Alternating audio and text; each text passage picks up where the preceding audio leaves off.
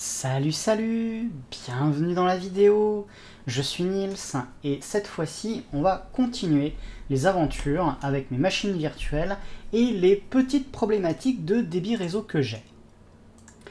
Alors d'abord peut-être un, petit peu de, euh, contexte.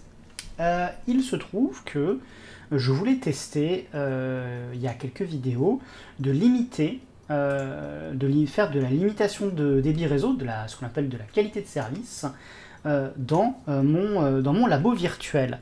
Alors mon labo virtuel d'ailleurs, et comme chaque fois j'oublie de présenter le schéma dès le début, ou de préparer que le schéma soit, soit présent dès le début, ce labo virtuel en fait tout tient sur une seule machine physique. C'est-à-dire que donc j'ai des machines virtuelles qui sont dans des réseaux isolés, et euh, certaines machines virtuelles euh, connectent ces différents réseaux isolés. Ces machines virtuelles-là font office de routeur et d'ailleurs, elles ont une euh, distribution Linux qui est spécialisée pour faire, un routeur. et j'ai donc fait des tests de débit réseau entre deux machines virtuelles dans un même réseau isolé et entre deux machines virtuelles qui ne sont pas dans le même réseau et qui donc passe par un ou plusieurs de ces, euh, de ces routeurs. Et je me suis rendu compte que ben, euh, la distro... Ah bah salut Emile Bienvenue sur le live euh, La distro pour faire le routeur, elle s'appelle ViOS.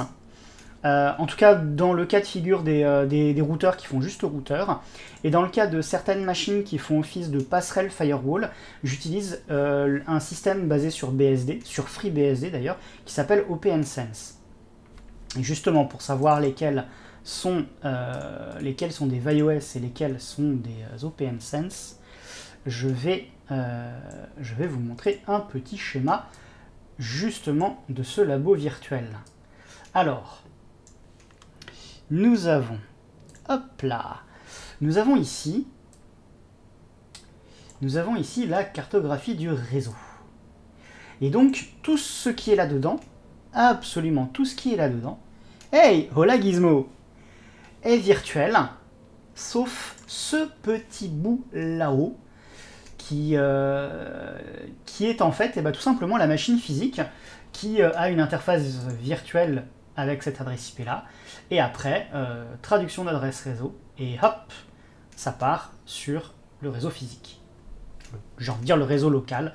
le réseau local tout ce qu'il y a de plus domestique, euh, classique. Quoi. Euh, et, euh, et, donc,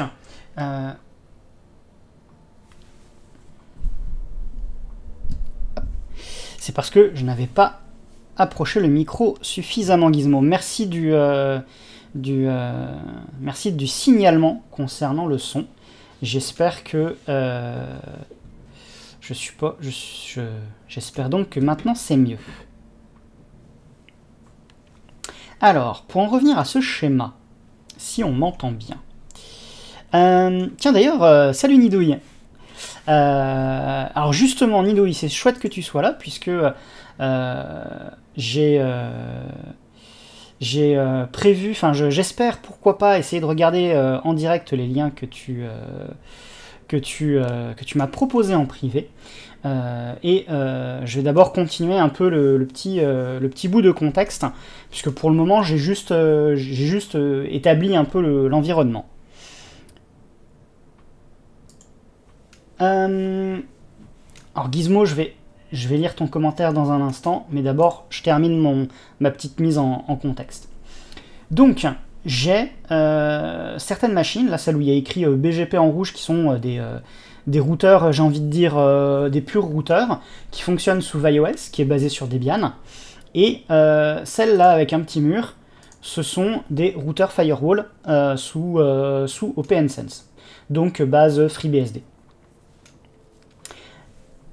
Et donc, si par exemple je descends dans, mon sous-réseau, ici par exemple, et que je fais un, un, test de performance réseau entre ces deux-là, entre la 3743 là et la 3713 par exemple, euh, peu importe lesquelles, hein, mais par exemple entre ces deux-là, eh bien, il se trouve que euh, je fais, en termes de débit, en faisant, de la, en faisant vraiment du, test de débit pur bête et méchant. Hein.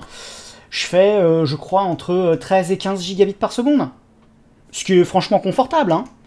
Et sans vraiment faire de tuning. Hein. C'est deux, deux, machines virtuelles Debian, je vais pas dire de base, mais quasiment quoi. pas de grand chose de, de particulier. Et si jamais je fais un test entre, euh, admettons, l'une d'entre elles et que je vais faire ce test de, de, réseau jusque celle-ci, là, celle où il y a écrit DNS dessus, et eh ben, euh, on descend à 1 euh, gigabit par seconde. Un petit peu plus, ça dépend des moments. Et là, sur la droite, eh ben, c'est pareil. Si par exemple je prends cette machine là, ISP5-box, et que je vais sur celle-ci d'ailleurs, dont j'ai oublié d'indiquer le nom, et qui s'appelle en toute logique eh bien, ISP6-box. Hop. Et eh ben, euh, pareil, ça fait seulement 1 giga. Alors, euh, Gizmo, euh, c'est une excellente question. Est-ce que c'est ViOS Est-ce que c'est OpenSense Je ne sais pas. je vais essayer d'avancer un petit peu pour, pour espérer le découvrir. Euh, mais avant, je vais regarder ton commentaire précédent. Euh, quelqu'un a une idée pour euh, des interfaces de VM qui font du dropped. Côté Switch, pas de problème. Sur l'interface physique, tu as du dropped et sur l'interface virtuelle aussi. Tiens, c'est étonnant. C'est étonnant. Toujours est-il que... Toujours est-il que je suis devant un, problème, ma foi, fort... fort étonnant. Euh, alors après, euh, j'ai envie de dire, un gigabit par seconde, c'est déjà pas trop mal. J'ai pas vraiment non plus à me plaindre, c'est pas du 10 mégas par seconde. Euh, bah écoute, j'espère, j'espère que Gizmo, j'espère que tu auras, que tu auras quelques, quelques points dans lesquels regarder. Oh, merci pour le follow Blue Dragonfly. Merci beaucoup, c'est très gentil à toi ça me, fait, ça me fait toujours autant plaisir parce que euh, maintenant Blue Dragonfly est le 250e follower. Vous êtes 250 unfollow. follow. Ah, je suis. Euh, j'en reste. Euh, ça, me, ça m'émeut toujours un peu de, voir tous les, follow qui s'accumulent. Merci beaucoup en tout cas. alors. Oh, et ça continue. Julien23TW, merci beaucoup. C'est très gentil à toi. Vous êtes adorable ce soir. Vous êtes déjà à 11, alors qu'on a euh, euh, à peine commencé. J'ai encore rien manipé. Je pose juste un schéma. Et c'est parti, ça continue. Ribose, merci beaucoup. C'est très gentil. Super top. Salut Xionji Wang. Et eh ben pour le moment, il se passe rien. J'ai juste posé un schéma et hop, trois follow. C'est génial.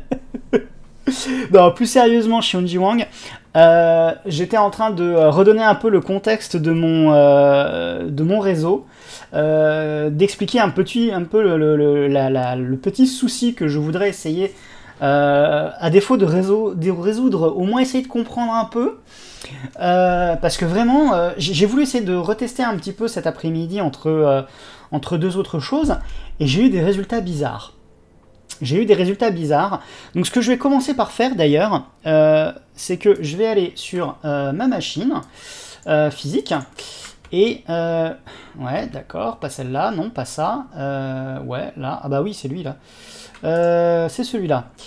Et ce que je vais faire, c'est que je vais faire un sudo reboot de la machine physique. Bam. Alors pourquoi est-ce que je suis en train de faire ça comme ça dès le début, dès le début du stream? Et euh, Ribos qui dit que c'est la faute à Emile qui a tweeté, c'est grâce à Emile qui a tweeté. Merci d'abord pour... Merci, oula, ben alors, les mots c'est difficile ce soir. Emile, merci beaucoup pour ton tweet. Euh, où en étais-je moi? Euh, Je disais pourquoi est-ce que je redémarre ma machine? Bah Parce que j'ai eu des trucs un peu bizarres. Euh, en fait, tu as un... J'ai un décalage... Merci pour le follow, Werpignou Merci beaucoup. C'est très gentil à toi. Alors, euh, il y a Gizmo qui signale qu'il y aurait un décalage entre le son et l'image. Ah qu'il vaudrait pas mieux que je commence par, euh, par vérifier ça euh, Nidouille au passage qui demande... Ah oui, l'hyperviseur pour, pour le petit souci de Gizmo. Hop là, alors...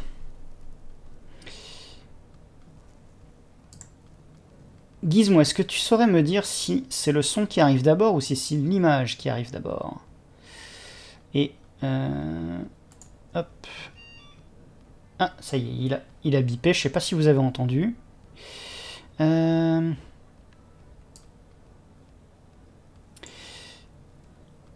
C'est l'image qui arrive avant? Ah, le son en premier. Et eh ben dans ce cas-là...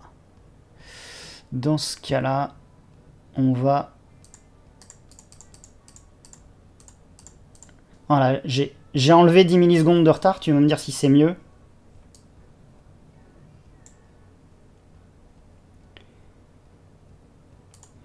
J'espère en tout cas que ce sera un peu mieux. Tu me rediras si c'est bon. S'il faut que je, retouche encore un peu plus. C'est bizarre parce que d'habitude, euh, enfin ça fait... Euh, j'ai pas touché ce réglage depuis euh, des lustres. J'aurais tendance à dire depuis presque un an. Et...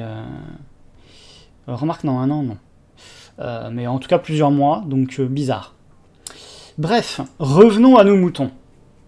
Ou plutôt à nos paquets. le truc bizarre que j'ai eu, et en allant d'ailleurs regarder, tiens d'ailleurs je vais peut-être aller les chercher maintenant, les liens de Nidouille. Hop. Parce que je, suis, je me suis posé des questions. Je me suis posé des questions. Comment ça se fait que ça tape super fort dans un même réseau et que euh, dès qu'on sort du réseau, ça tape moins fort? Et lors d'un stream précédent, ce que j'avais fait là sur cette machine-là, sur cette OpenSense, eh ben, j'avais augmenté les, euh, les capacités de la machine. Parce que globalement, euh, si je regarde ah bah oui, ma mince, je l'ai... Ouais, il est de retour. Super. Alors, si je prends par exemple le firewall qui était... Voilà, celui-là. Hop. Ah, j'ai laissé, laissé avec ses, j'ai laissé avec ses perfs un peu plus, euh, un peu plus mieux. Il a 8 vCPU organisés en 4 cœurs et hyper threading. Et la mémoire, on est à 8 GB de RAM. Mais en temps normal, il est comme ce firewall là. C'est-à-dire qu'en temps normal, il est à un seul vCPU et il a 2 GB de RAM. Et euh, ce qui est intéressant, c'est de voir aussi que mes routeurs, eux, sont en temps normal à 1 vCPU et 512 MB de RAM. Ce qui est, il faut l'avouer, pas énorme, hein, on va pas se mentir. Euh, euh, c'est vraiment des petites VM. Hey, William Blake, uh, 23. Uh, yeah, this is French speaking stream here. Um, uh, since you're the only one uh, non-French speaking, I don't know if I should switch uh, to English. Hop là. Et Gizmo, je vais redécaler encore un peu le son dans ce cas-là.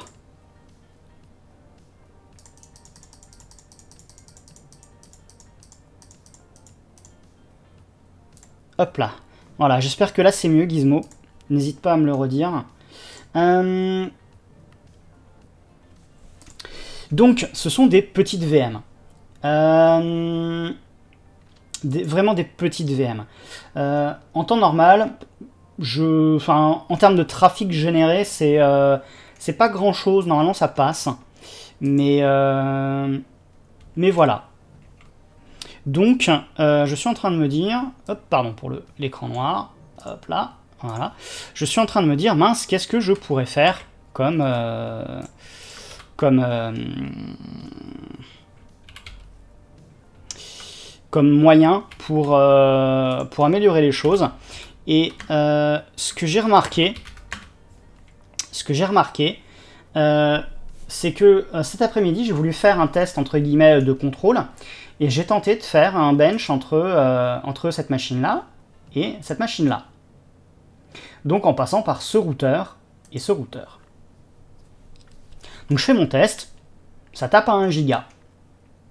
Donc on se dit, ok, c'est cool, euh, j'ai mon contrôle, tout va bien.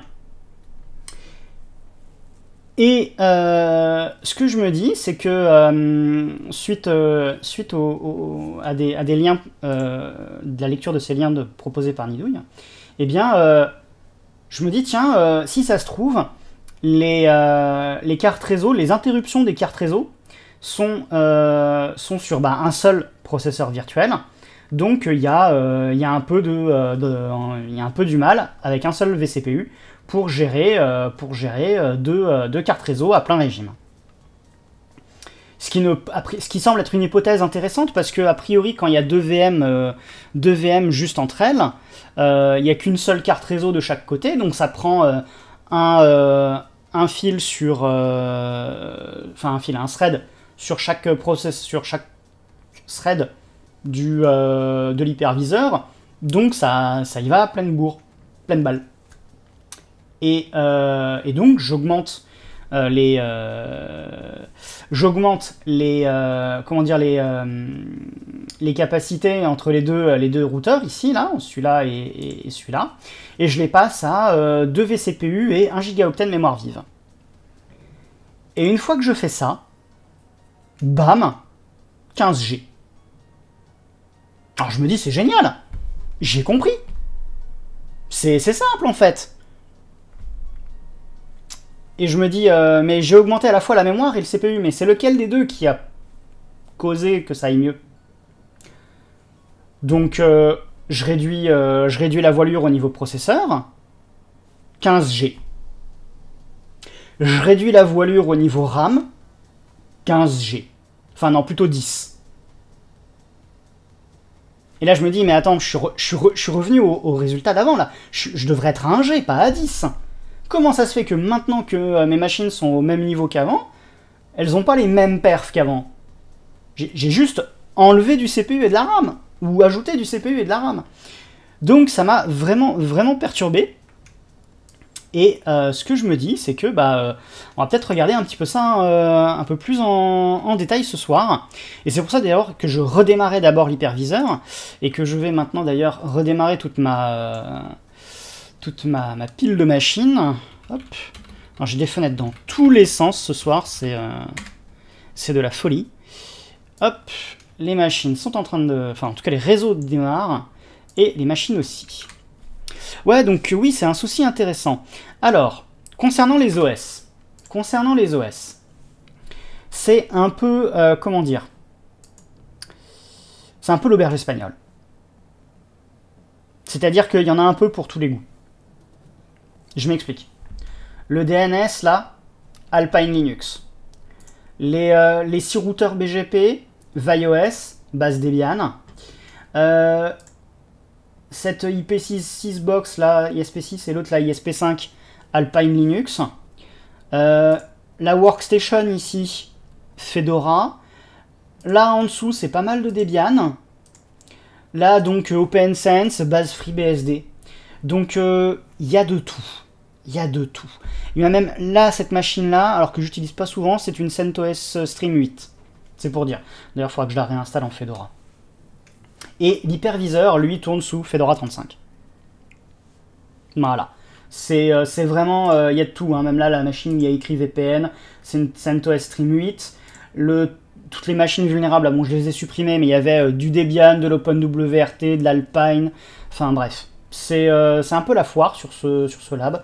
et ce que je me dis d'ailleurs, c'est que si vous avez vu mes vidéos précédentes sur Cloud Init, où j'avais pas mal centré les choses sur Fedora, euh, je pense que je vais vouloir re, euh, euh, réinstaller un certain nombre de ces, machines virtuelles, même, les, même les Alpine. Je pense que je vais tout rebasculer en, Fedora. ce sera peut-être du coup plus difficile pour moi de spécifier le, le serveur DNS sur, ou en tout cas de le re-régler si jamais le jeu change. Winky Winky 1000. Mais, mais bon, c'est après, j'ai envie de dire chacun son truc. Euh, bref. Donc déjà, la première chose que je vais faire ce soir, c'est essayer de euh, voir si maintenant que j'ai redémarré ma, tout mon labo, si entre euh, cette machine, ISP5 box, et cette machine, ISP6 box, est-ce qu'on a du 1G, est-ce qu'on a du 10G, ou est-ce qu'on a plus? Ou moins?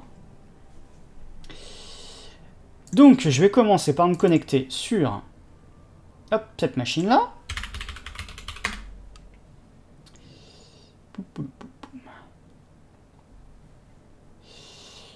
Et euh, on va ouvrir un terminal. Hop. On va mettre les choses un petit peu plus gros. Hop là. On va faire, hop, comme ça. Euh, d'abord la 5. Hop là. Au fait, Gizmo, le son, c'est bon?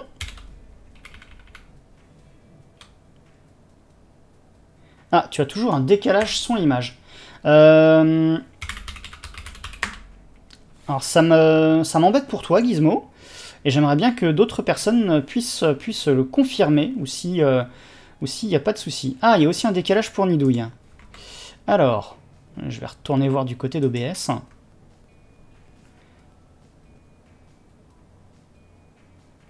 Hop là. Je, vais continuer à baisser. Hein, euh. Allez, on va encore gratter 30 millisecondes. Est-ce que c'est mieux là? Est-ce que vous me dites hein, si, euh, si jamais euh, si jamais il y a, encore besoin que je, décale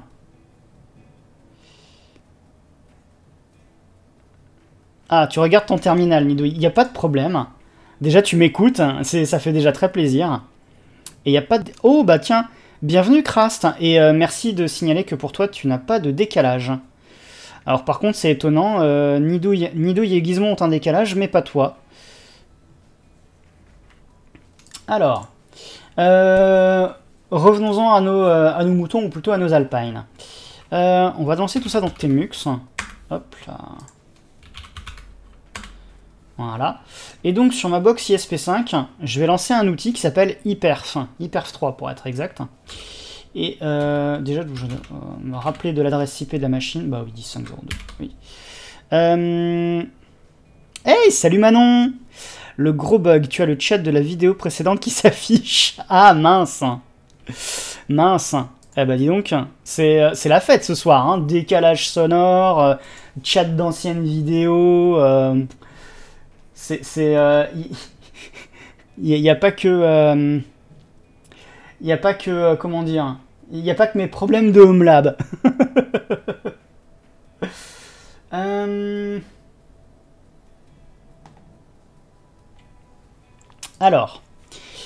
Euh, bah écoute, oui, oh, il y a peut-être des gens bien qui utilisent Screen aussi. Hein, je vais pas juger les gens sur, sur leur utilisation de, de multiplexeur de terminal perso. En fait, c'est mon Home Lab qui perturbe Twitch. Haribo, c'est magnifique. c'est magnifique. J'aime beaucoup. en fait, j'avais lancé, euh, un, DOS sur Twitch euh, pour voir. Malheureusement, euh, sans, sans penser que ce serait... genre, genre, j'ai lancé un hyper vers Twitch pour voir ce que ça donnait, et puis en fait, je les ai DOS. Bref. Donc Hyperf 3, euh, je vais le lancer ici en tant que serveur et je vais spécifier le port en MX 5205 euh, en serveur. Donc ça va être sur du flux euh, TCP. Et, et ensuite, on va aller dessus depuis IP6box et on va lancer la commande Hyperf 3 aussi mais cette fois-ci en mode de client. Eh bien Manon, figure-toi que je continue mes aventures de débit réseau puisque euh, je suis tombé sur des trucs complètement barges cet après-midi en termes de résultats, et euh, je me suis dit que ce serait sympa de partager ça avec vous ce soir. Donc cette fois-ci, je vais lancer, euh, relancer Hyperf 3 en, mais cette fois-ci en client. Mais avant de spécifier l'option, client, je vais lui dire de ne pas s'arrêter. Donc je mets moins T0 pour qu'il ait jamais de limite de time to live et euh, on va rajouter euh, le port fatalement. Euh, hop, et puis cette fois-ci je dis client et je vais aller taper sur 10. J'avais dit 10.5, je dis 10.5.0.2. Et là je suis à presque 10 G. Je comprends pas.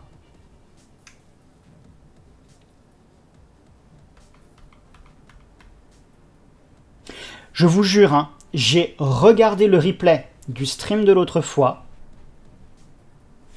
Ça me... Euh, alors ce qu'on va peut-être faire, ce qu'on va peut-être faire maintenant, euh, c'est qu'on va relancer... Hop. On va relancer ce genre de test, mais euh, je vais me connecter sur la machine, la fameuse machine DNS. Alors, 10.0.53. On va lancer un petit Emux. Et, et on va faire un euh, hyperf 3 moins, euh, moins P bah, 52.0.00 et en serveur. Et euh, je vais me revenir ici.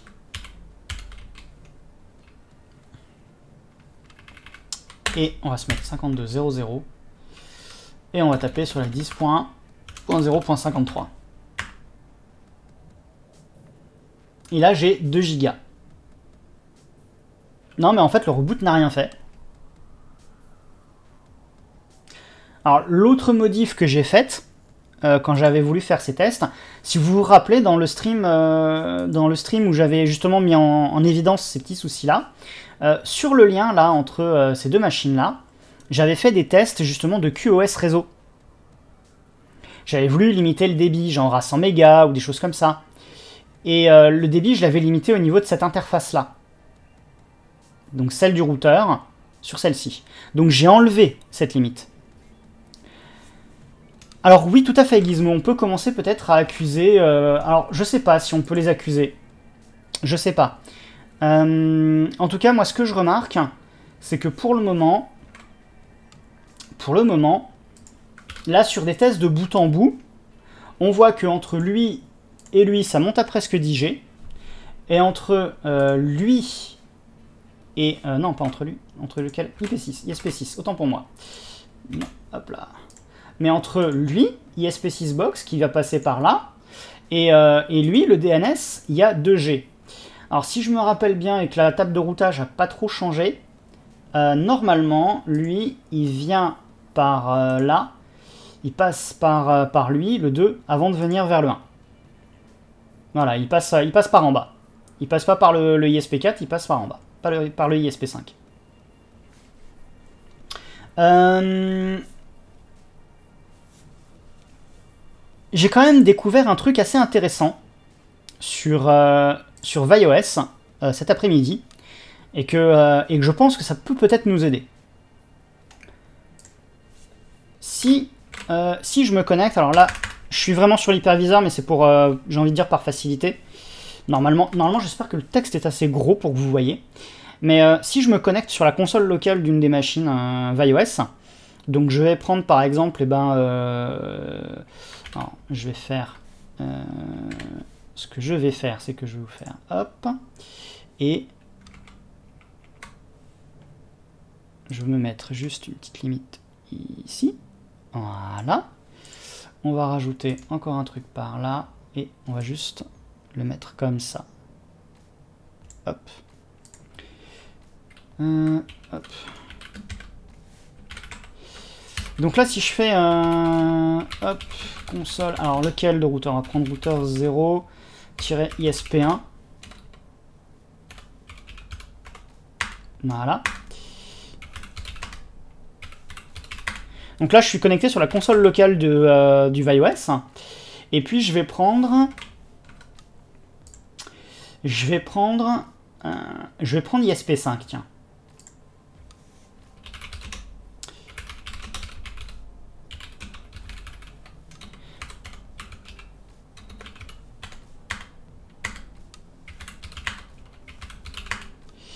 Alors, Gizmo qui nous dit ce serait intéressant de voir la charge du ViOS et ou du OpenSense pendant l'Hyper 3. Oui, tout à fait.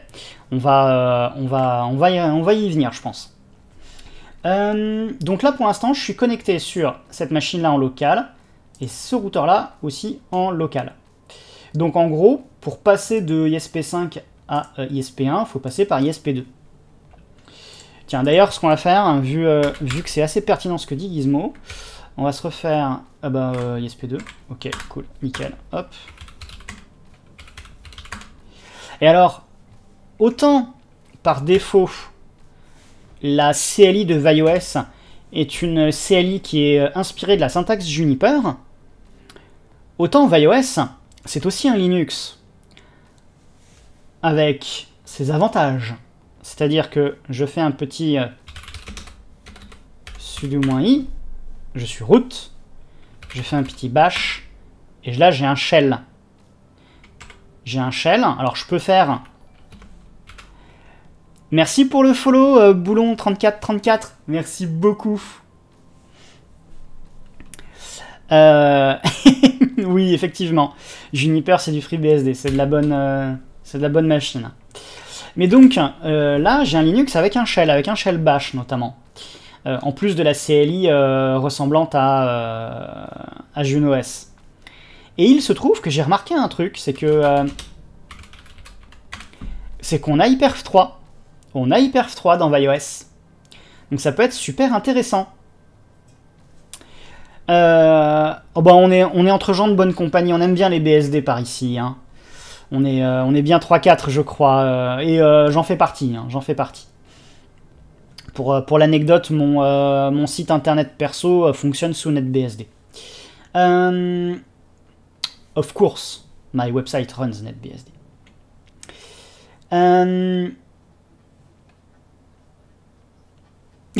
Il faut remercier Emile. Bah, Emile, merci encore.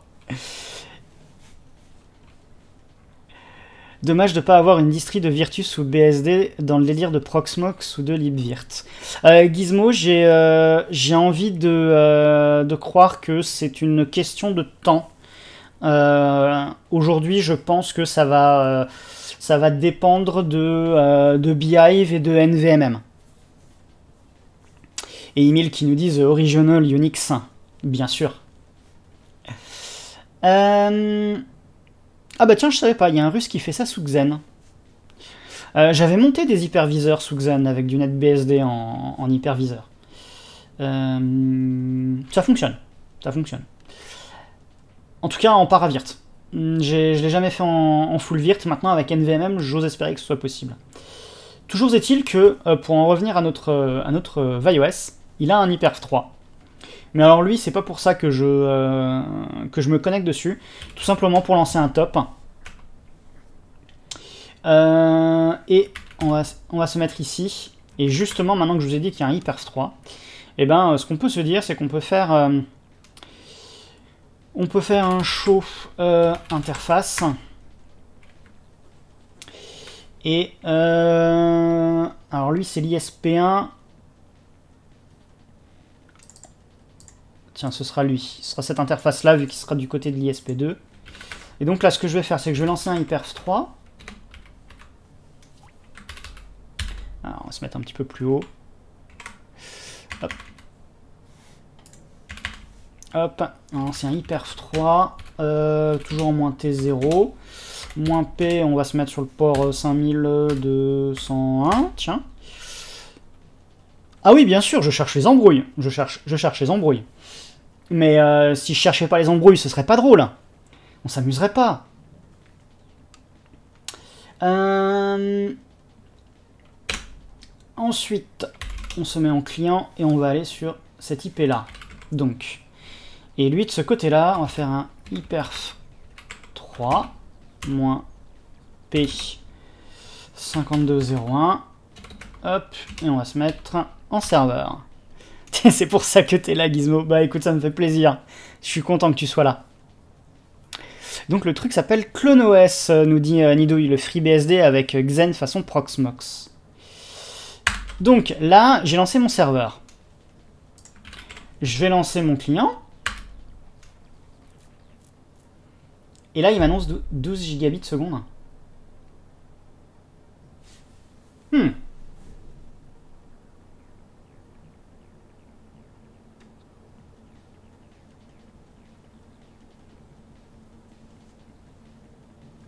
Alors je vais tenter un autre truc. Mais avant, je voudrais regarder la charge là-dessus. Il m'annonce 0,13. Ok, soit.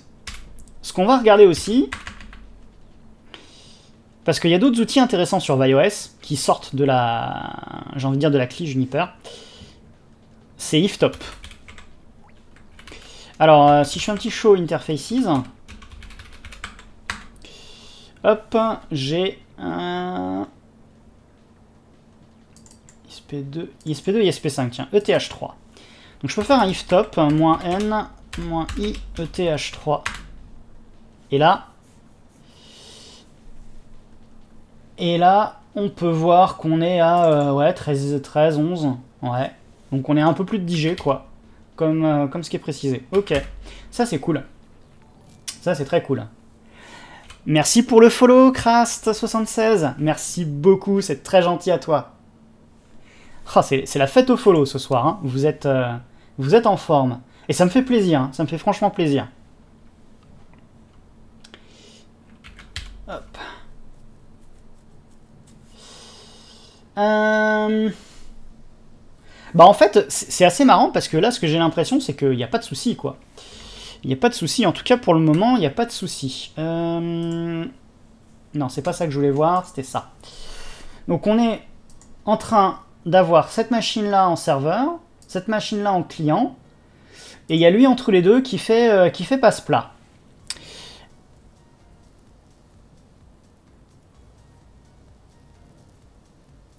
Alors, Gizmo qui nous dit Mais attends, quand tu fais un hyperf entre deux routeurs, tu tapes sur les interfaces virtuelles et absolument pas sur les BGP, puisque les deux iOS sont des interfaces directement connected. Non?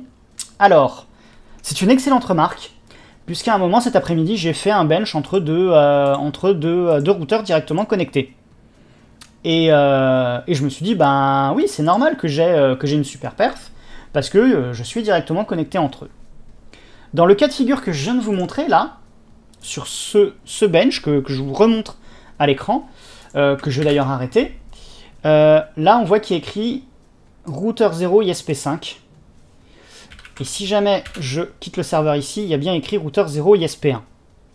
Ce qui veut dire que je l'ai fait entre routeur 0 ISP1 qui est là, et routeur 0 ISP5 qui est ici. Et pour que les deux se rejoignent, il faut passer par routeur 0 ISP2.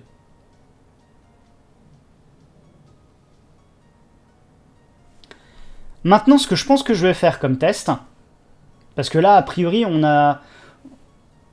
On est, je suis tenté de me dire, a priori, on est en train de... Euh. Euh, comment dire. Euh, alors, est-ce qu'on peut voir la charge de ISP2 pendant l'hyperf? Oui, tout à fait. C'est justement... Alors, je vais relancer le truc. Hein. Hop. non, pas ici. Là. Hop. Et la charge de l'ISP2, il est ici. Hop, je peux te mettre un top. Alors tu peux voir que le truc, il bouge pas. Hein. Je sais pas du coup si ça se voit. mon petit retour vidéo, si ça se voit. Euh, là pour le moment, il y a, l'hyperf qui est en cours. Hein. Hop, tu le vois là. Ça tire à 12-13 giga, gigabits seconde. Et là, 0,05. Genre limite encéphalogramme plat quoi.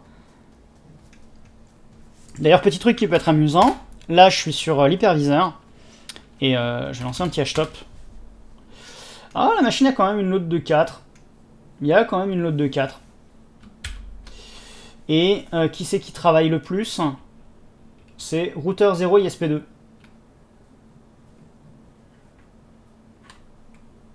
Alors oui, je suis assez étonné que, que Où va l'argent, comme diraient certains Oui, bah oui, je me pose la question. Hein.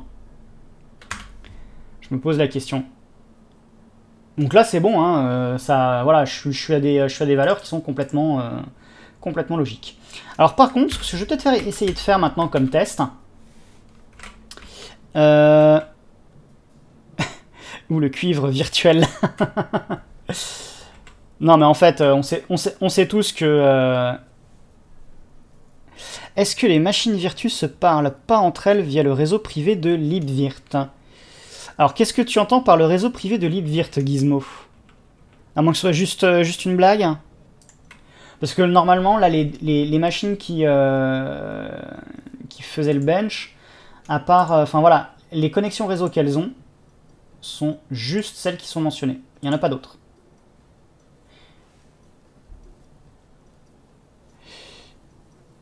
Bah si, justement, ça passe par... Bah, bah, on l'a vu, on l'a vu à l'instant avec le, le if top. Hein. Je, te, le relance, hein, si tu veux. Là, pour l'instant, il n'y a rien. Hein je vais, euh, là, il a, là, il listen. Donc là, tu vois, il n'est pas lancé, le, le, bench. Là, il se passe rien.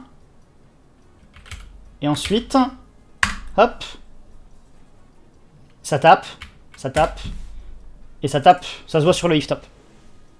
Il n'y a pas de souci, Gizmo. Il n'y a pas de souci. Hop.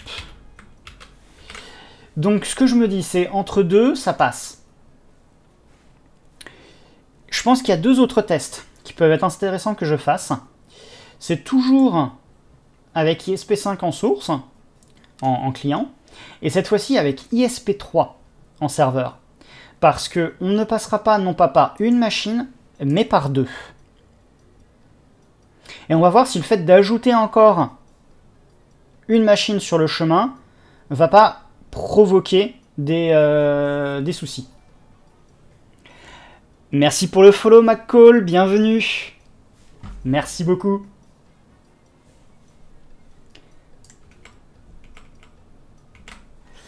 Alors, allons-y. On va se mettre... Alors, on va peut-être euh, quitter ISP1. Voilà, hop. Et on va se mettre sur ISP3. On se croirait chez Yorzian. C'est très gentil de me comparer à lui, Nidouille. Merci. C'est flatteur. J'en suis encore loin, mais c'est très flatteur. Je suis désolé, Gizmo. Euh, je peux peut-être essayer de... Euh, de, euh, de, baisser, un peu le, à nouveau le... le... Mais si ça change rien pour toi, je sais pas qu'est-ce que ça va faire. Ok. Bon, je suis vraiment embêté, Gizmo, pour toi. Hein. Ça, m'ennuie. J'aime pas quand les gens ont des soucis de visualisation ou de, son sur mes... Euh... je... Nidoui, je croyais que tu faisais moins de blagues ici qu'ailleurs. Mais en fait, il n'y a pas de souci. Hein. Blague autant que tu veux par ici, Nidoui. Euh, donc, je suis sur ISP3. Euh, et je voulais lancer un hyperf. On va faire un hyperf 3. Euh, on va se mettre en moins P et ben 5203, tiens. Hop. je voudrais juste d'abord revérifier. Show interfaces. Hop. On va se mettre sur le TLG. On va se mettre sur le. Ouais, on va. On va essayer de taper sur cette IP là. Il y en a qui sortent les. Euh, alors, pour, pour celles et ceux que ça intéresse, euh, sachez que. Euh, alors, ça, fait un, ça fait un peu. Je vais vendre mon produit, hein, mais il y a aussi des emojis. Il y a des emojis custom par ici. Il y, a des, il y a petits moutons assez sympas qui, pour le moment, je crois, sont, sont réservés au, au, au sub. Euh, bref, donc je voulais voir les interfaces. Hop. 10, 1, 3, 2. Donc si je fais un hyper 3, hop, moins S, euh, non pas moins S, moins P, on a dit 52, 0,3, moins S, hop, et il faudra que je pense à aller sur cette IP là. Donc on est là, hop, on va aller sur 52,03, et on va aller sur cette IP là. Et là, qu'est-ce qui se passe? Non, on a toujours presque 10 G. C'est marrant. Et Gizmo qui a eu l'emoji grâce à ses points de chaîne. Félicitations Gizmo.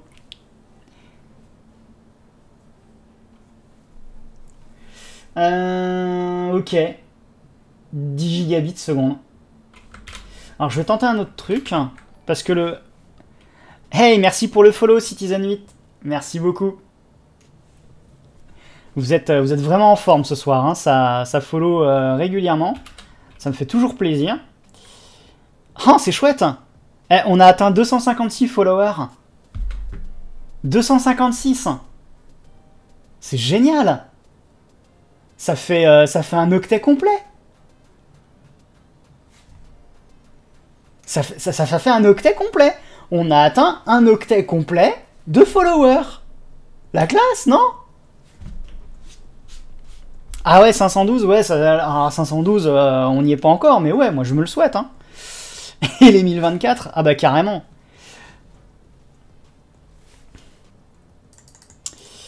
Euh, alors, je voulais revoir en interface celle-ci. Donc,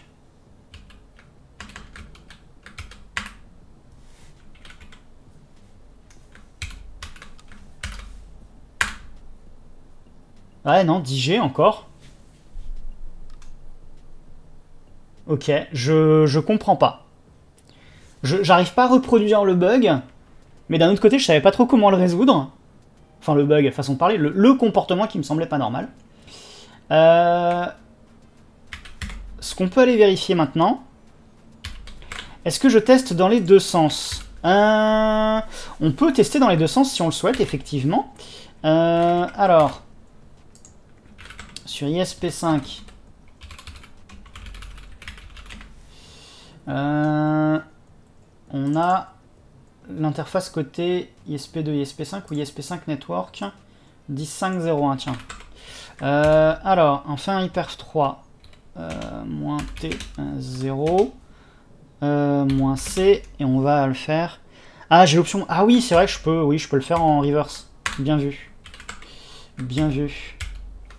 Hop, allez.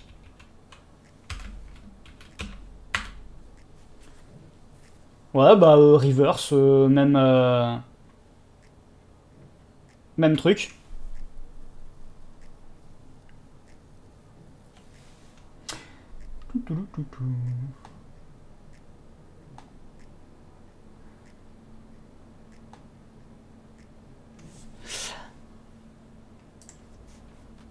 Alors je, je suis pas au même niveau de, de VIP que, euh, que Yorzian pour, euh, pour, euh, pour Twitch. Et, et, du coup, alors moi j'avais vu son stream d'hier soir et on pouvait effectivement abaisser la qualité, la qualité vidéo. mais sur, les, sur mes streams, sur mes, sur mes streams, on peut pas, on peut pas descendre, je crois. Alors, hop, excellente question de, de VLMat euh, VLMAT, les machines sont sur, euh, les VM sont sur la même machine. Non, en effet, Nido, je ne suis pas partenaire. Hop. Donc, euh, ce que je vais retester cette fois-ci, je pense, c'est... Parce que pour le moment, j'ai tout fait entre uniquement des Linux. J'ai fait uniquement entre des Linux, là. Et je pense que maintenant, et encore plus maintenant que je vois que j'ai un hyperf sur le... Euh, ma call qui s'en va parce que je suis pas partenaire. oh, la, vie est vraiment trop injuste. Euh, je pense que maintenant, ce que je vais faire, c'est que je vais lancer un hyperf 3 depuis, euh, depuis une de ces machines, là. En bas, là, dans le réseau en 10, 13, 37. Et, et je vais mettre un, un serveur hyperf sur ISP2 comme ça, ça passera par le euh, par le euh, par l'Open Sense. Et puis on pourra refaire aussi le même test ici à ce niveau-là, puisque euh, on a on a aussi ici un Open Sense avec pas les mêmes pas les mêmes capacités.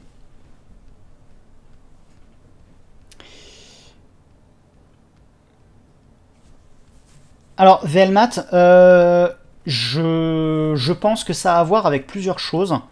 Euh, je monte à plutôt 12, euh, entre 12 et 14, pour être exact.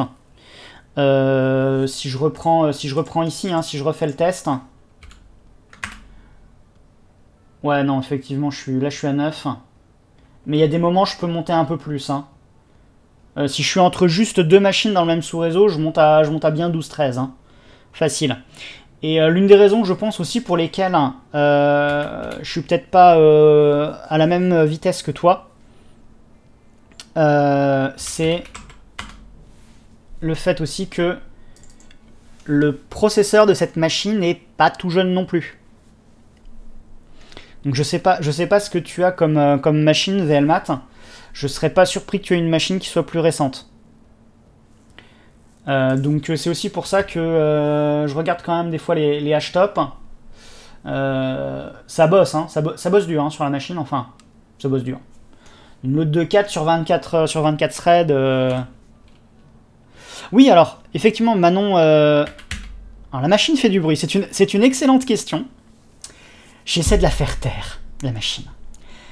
J'essaie de la faire taire. C'est aussi l'une des raisons pour lesquelles j'ai le casque. C'est pas seulement le, c'est pas seulement le, euh, pour entendre aussi les bruits du, euh, des, pas seulement les bruits du live. Alors c'est marrant que tu dises ça, Gizmo, parce que effectivement certains auront remarqué que je, j'hésitais beaucoup à, à faire fumer la carte bleue pour un boîtier Be Quiet. Et je l'ai fait. Euh, j'ai remonté la machine vite fait, genre euh, vendredi midi pendant ma pause déjeuner. Euh, et, et alors là, pour l'instant, pour, pour voir par rapport au, pour tester les différences de température, j'ai enlevé le, j'ai enlevé le, le, comment dire, le, le, panneau, le panneau avant qui est quand même sacrément et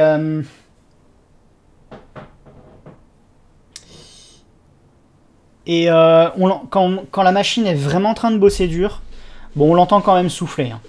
On l'entend quand même souffler.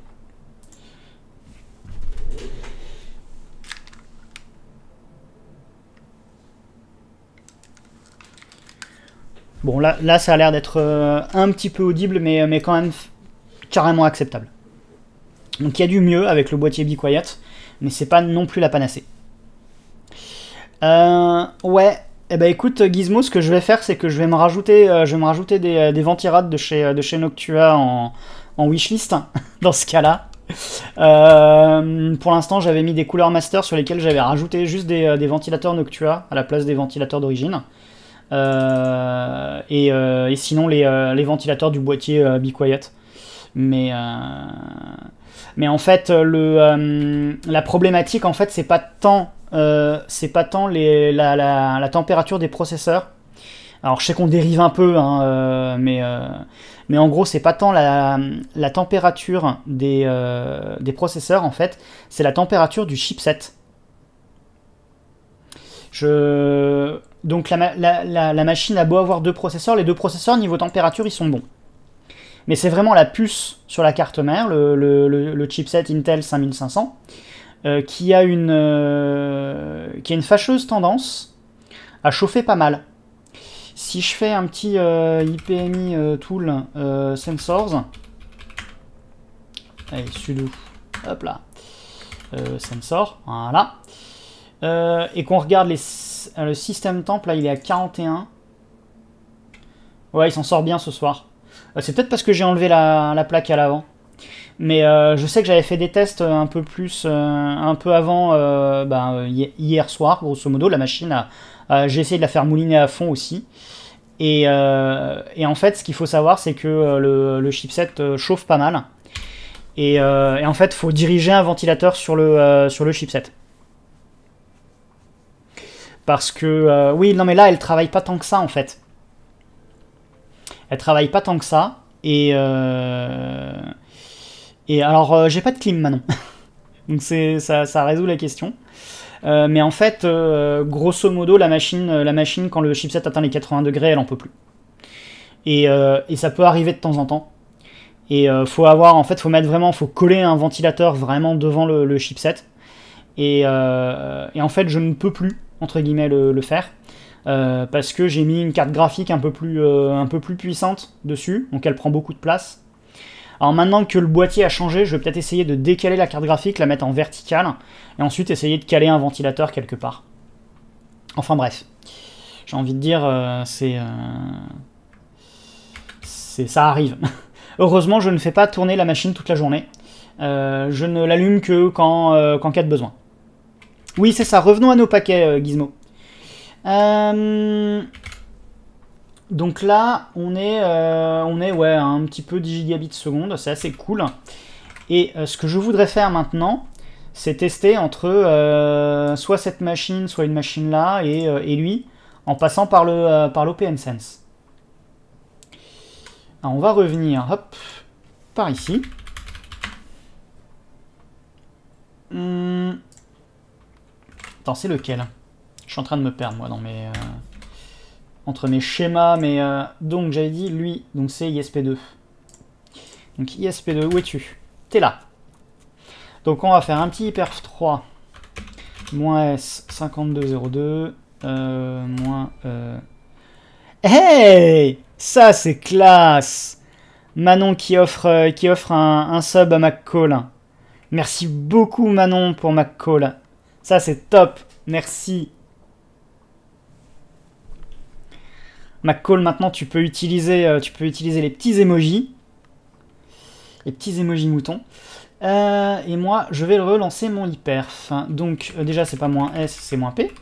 J'en suis tout perturbationné. Hop là. Et voilà, là, il est en serveur. Maintenant, je me mets ici. Je vais rouvrir un autre, onglet de terminal.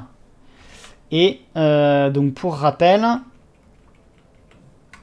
je suis là. Donc, je vais forcément passer par lui.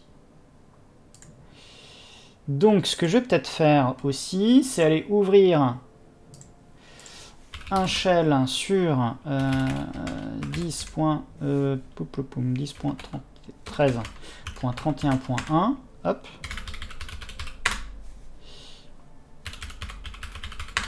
Voilà. Je veux un shell. Et on va lancer un petit top. Donc pour l'instant, la machine 0,2. 0 nice, 0,2 système. La mémoire, elle est à euh, 7, euh, 7 Go 5 de libre. Il euh, y, a un truc qui m'embête avec le top euh, sous. Euh, parce que je sais que quand je fais euh, top, euh, top moins 1 sur, euh, sur certains systèmes, ou que je fais top et puis que je fais 1, j'ai le nombre de CPU qui s'affiche. J'aurais aimé le voir sur le top en FreeBSD. Je suppose qu'il n'y a pas de page de manuel hein, sur... Si, tiens, il y a les pages de manuel. Ok. Alors. Hop là.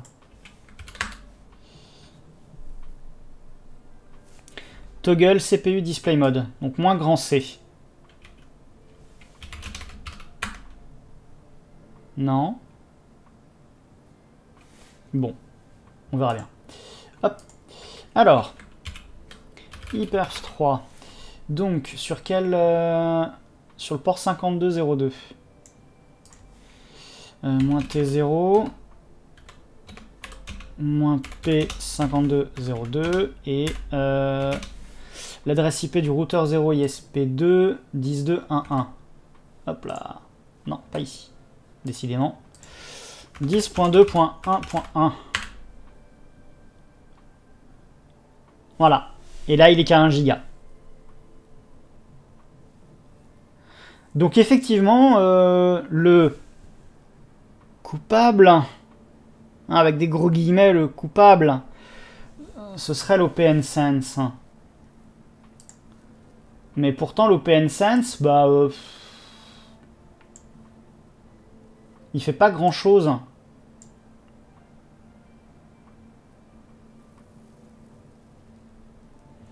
Et ce qui est assez marrant, c'est que euh, si je fais un ifconfig euh, et que je regarde les, les interfaces, euh, qu'est-ce qu'on a comme... Voilà, il indique Media Ethernet 10G base T.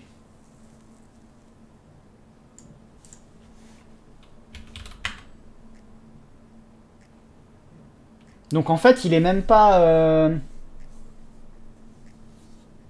Comment dire?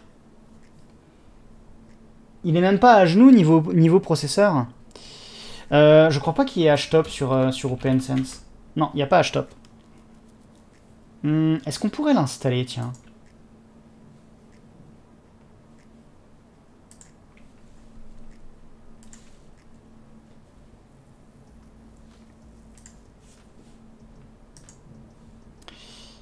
PKG install htop. Euh, ouais, mais alors la question que je me pose avec, euh, avec OpenSense, c'est est-ce que... euh, Est-ce que est-ce qu'il l'accepte? J'espère que je suis pas en train de désinguer mon installation d'OpenSense. Ah bah écoute, comme ça au moins ça a le mérite d'être clair. Hein, ouais, il n'en a pas.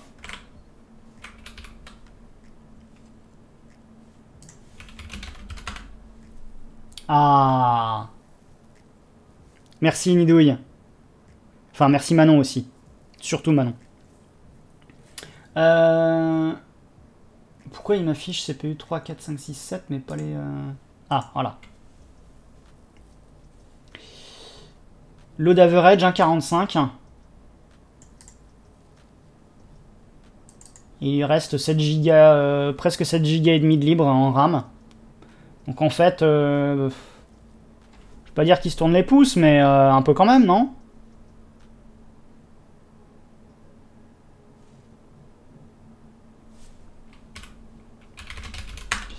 Alors. Moins grand P affiche les utilisations de statistiques par CPU.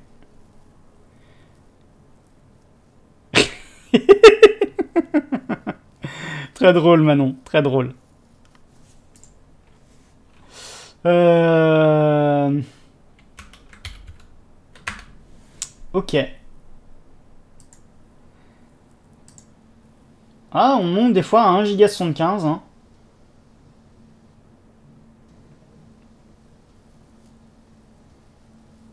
Mais alors, il y a un truc qui me chiffonne quand même dans cette histoire. C'est que euh, tout à l'heure, je suis allé de cette machine-là à cette machine-là, donc en passant par ces deux-là, et j'avais encore 10 G, et je comprends pas comment ça se faisait qu'entre euh, cette machine, donc la, la, ISP6 box, qui est donc derrière le réseau là, et celle-ci, il y avait que 2G, euh, 2G et quelques.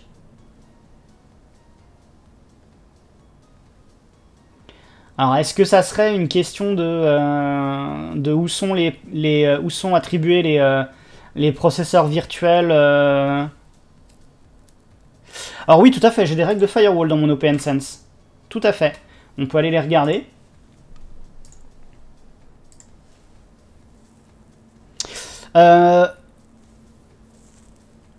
Est-ce que le traceroute est bon? Ah bah écoute, on peut, on peut vérifier. Hein. On, va, on va, hop, depuis la workstation, si je fais un un trace-route. Alors lui, de toute façon, il est, il est pas...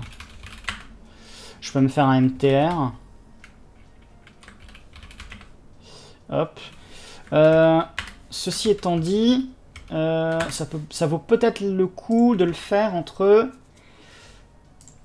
ici un petit MTR en moins N. Voilà. Et donc on passe par le routeur ISP6, forcément. Le routeur... Ah tiens, on passe par le routeur ISP4. Je croyais qu'il passait par le 5 avant. Bon, ok. Est-ce que j'ai ou est-ce que je peux avoir une vue du débit sur les différents liens du chemin entre les deux machines durant le hyperf? Euh... Alors, excellente question, Haribo. Euh... On peut. On peut, mais euh, je suis pas sûr que ce soit... Euh, comment dire? Je suis pas sûr que ce soit forcément...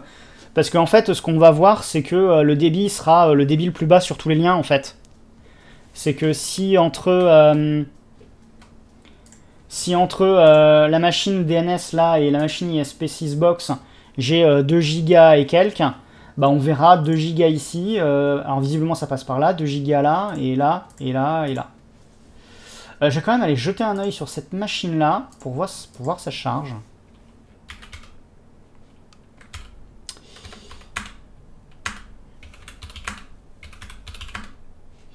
Hop. Ah tiens, il y a un hashtop sur iOS. Euh, il est un peu moche comme ça. Hop. Euh...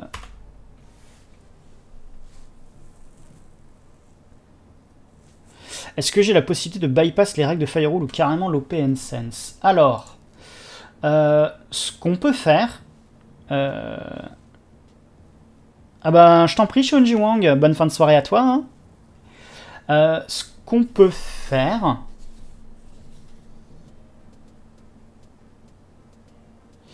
Alors, déjà, je vais aller regarder les règles de filtrage quand même. Hop là, hop. Parce qu'il y en a quand même pas mal, enfin pas mal. Non, il n'y en a pas tant que ça. mais disons que déjà, il y a les règles de base du truc. Et puis, il y a quelques règles de NAT. Enfin, de, règles de NAT, du port forward en fait. Pour des, des serveurs web qui sont... Alors, que je vous montre. Ici, là, il y a certaines machines, c'est des serveurs web. Donc il y a ici plusieurs IP euh, en, euh, en, virtuel, qui sont donc sur cette interface-là. Et ensuite, le port 80 est redirigé euh, vers, vers les autres, vers les serveurs web qui vont bien. Et ensuite, en termes de règles, eh ben, normalement, il n'y a pas énormément de trucs. Mais on peut aller regarder. Donc, les rules en floating, a priori, j'ai que les rules automatiquement générés.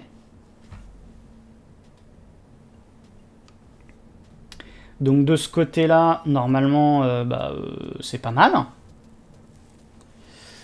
Et puis, euh, on a la DMZ, donc qui est là où il y a les serveurs web. a priori, ces règles-là, je les ai désactivées. Oui, parce que j'avais mis un proxy.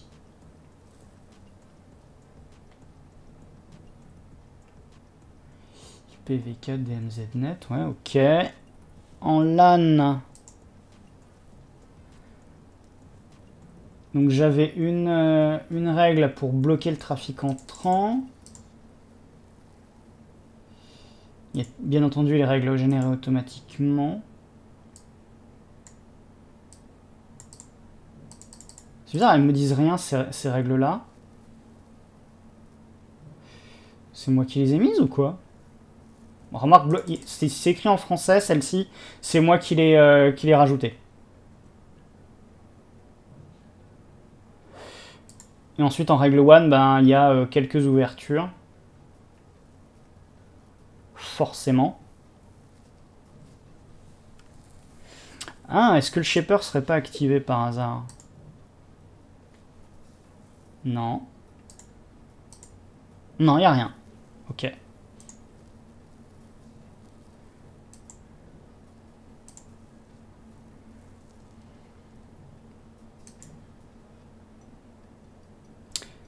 Ah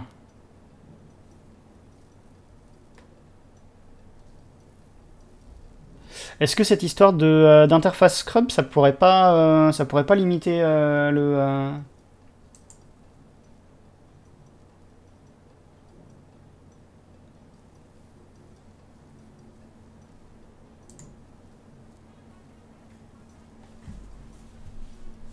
Hmm. Euh, j'ai un trou de mémoire sur ce que fait le scrubbing sur, euh, sur PF.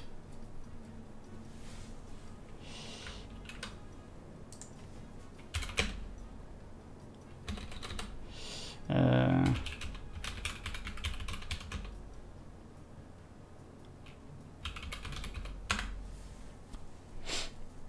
normalisation de paquets.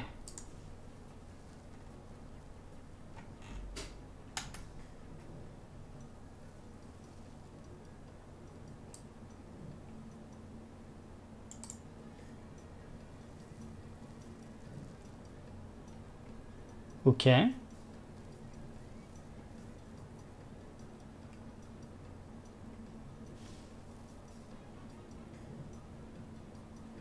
Euh, ouais, drôle de pub, ouais, sur... Euh, ouais.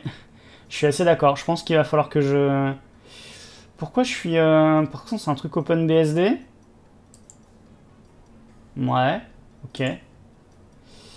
Remarque, j'étais pas sur, pas sur le site d'OpenBSD. Ah voilà, ah, openbsd.org.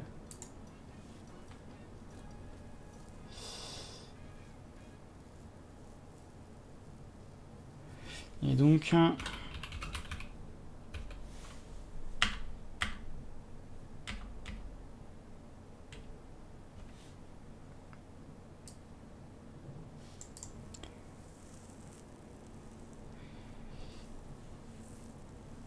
Alors effectivement, il faudra peut-être que j'active des, euh, des, filtres, des filtres à publicité.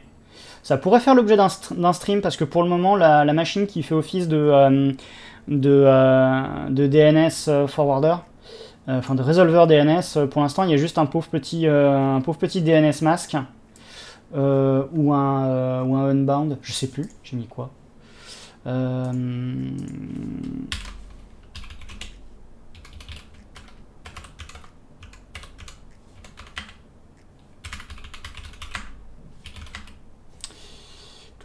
J'ai mis un DNS mask.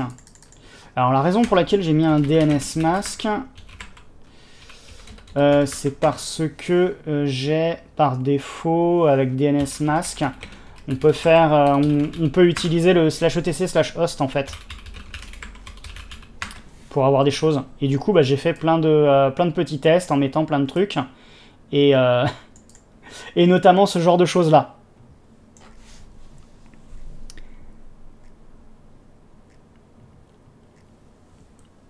J'avais, euh, voilà.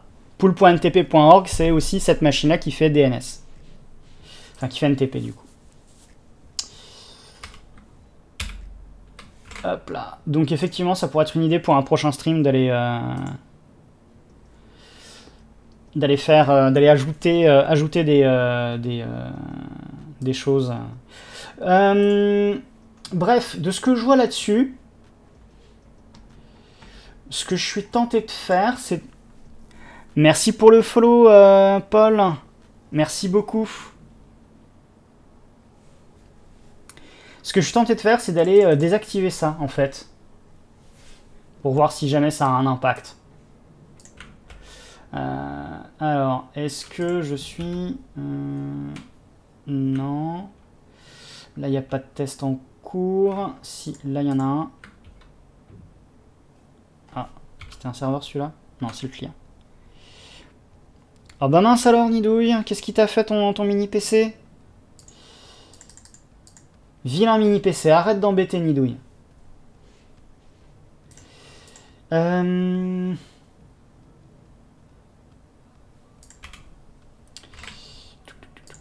si je fais ça et que je save,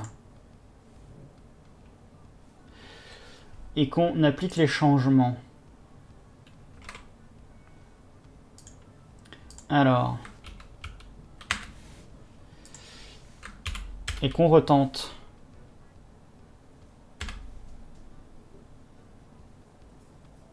C'est moi où on a gratté un petit peu là?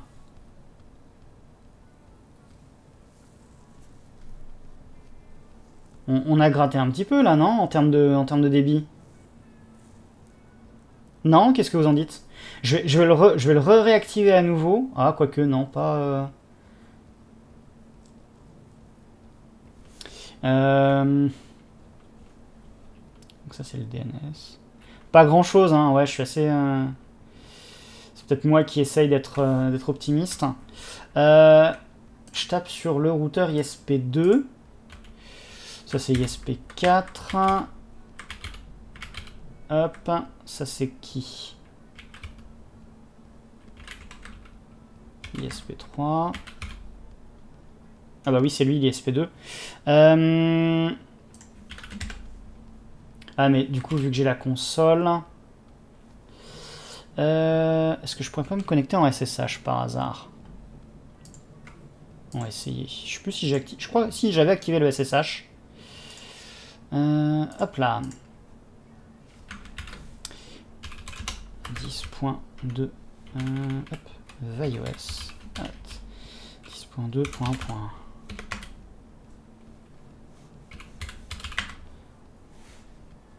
Voilà. Et euh, ce que je vais pouvoir faire, c'est faire un sudo if top n. Euh, hop. Là, il est sur ETH0M, c'est pas celle-là qu'il me faut. Il me faut, il me faut celle qui est ISP2 website. Donc TH1.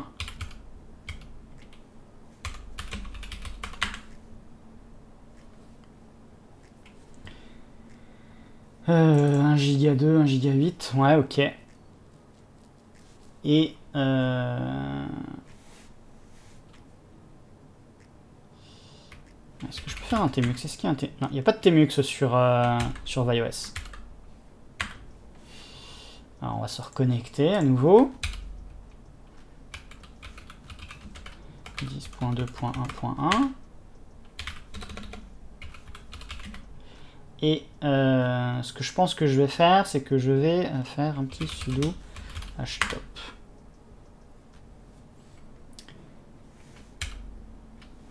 Et en termes de CPU, bon bah c'est Hyperf qui bosse, hein, fatalement. Et il a une node average de pile 1.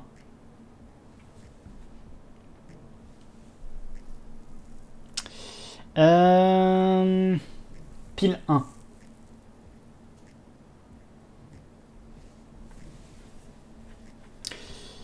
Hmm.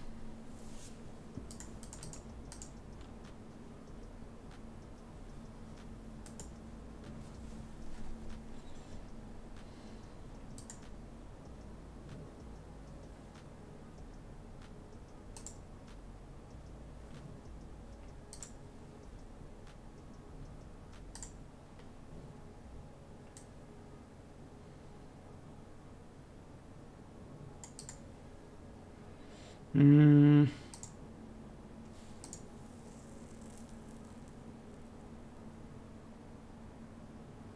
Pour toi, VLMAT, j'ai une limitation CPU. Alors, pour toi, la limitation CPU, elle serait au niveau du, euh, du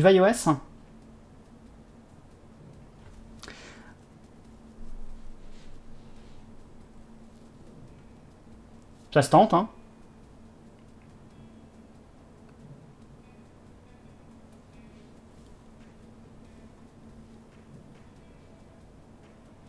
Ça tente, j'ai envie de dire, j'ai rien à perdre. Euh, alors, où est passé euh, Ah oui, mais il faut d'abord que je coupe l'autre. Il est où? Hop là, il est là. Alors. Lui, on l'arrête. Power off. Oui. Et je vais faire ici en graphique. Et ce qu'on va faire, c'est qu'on va lui ajouter... On va lui ajouter... On va le passer en dual core. Donc il a toujours un seul CPU.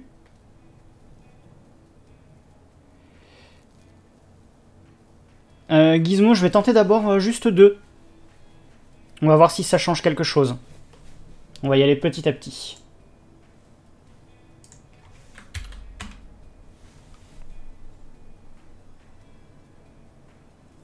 Là, il est en train de démarrer normalement.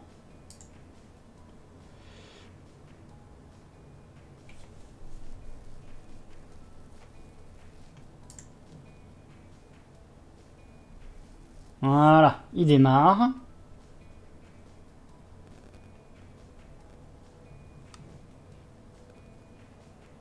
Alors, non Gizmo, pour le moment, je vais juste... Euh,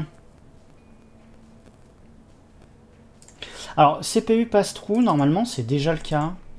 Ou alors j'ai euh, euh, CPU... Non, il est en host pass-through, c'est bon.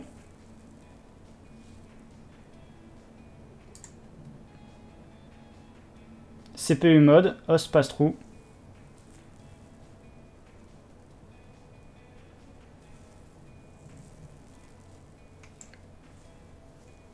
Mais euh, moi aussi, je préfère.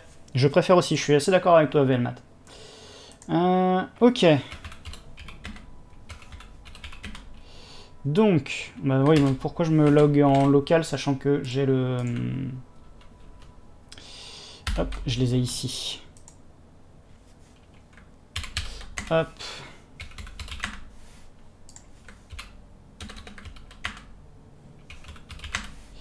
Et je vais même en rouvrir deux autres terminaux.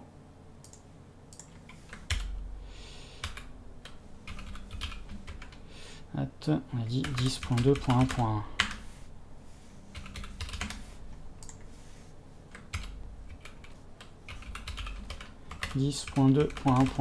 Hop là. Donc, ici, ce que je vais faire, c'est que je vais mettre un top. Euh, ici, on va se faire un euh, hyper 3 moins P, on est en 52,02, moins S. Hop. Ici, euh, on a...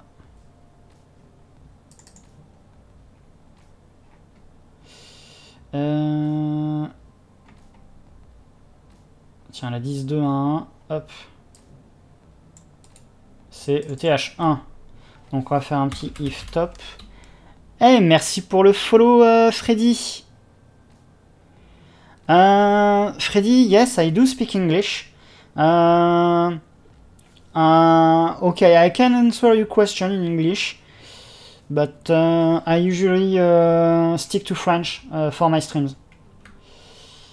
Uh,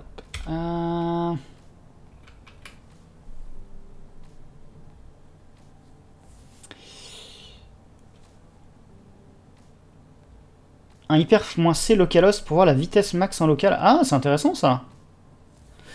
Euh, alors attends, d'abord, je voulais faire mon petit if top. If top n euh, moins ieth. On a dit eth3. Hein. Hop, et lui, il va pouvoir rester là. Euh,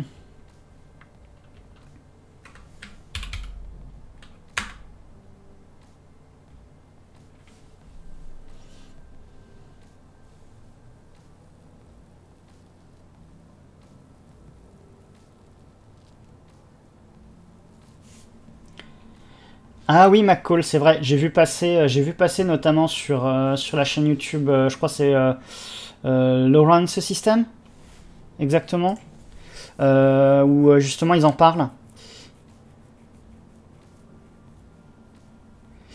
Freddy, I have no idea what the FPT service is, to be honest.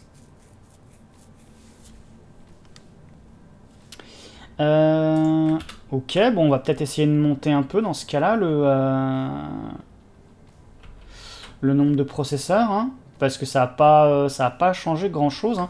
Je vais recommencer, mais...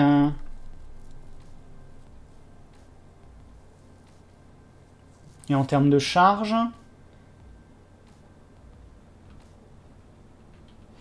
hop, 5. En termes de charge, la machine, non, elle monte à 0,51. Et... Euh... Oh, VSFTPD? Yeah. Yeah, I know. I haven't used it for a while, to be, uh, to be fair.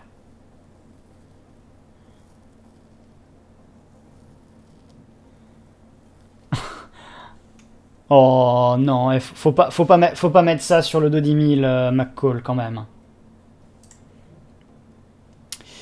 Euh...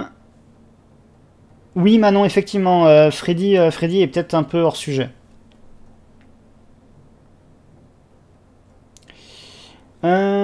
J'avais un hashtop. Alors là, ce que je peux peut-être faire, c'est regarder. Là, sur le top, le top du, du, du routeur ISP2, j'ai les deux CPU.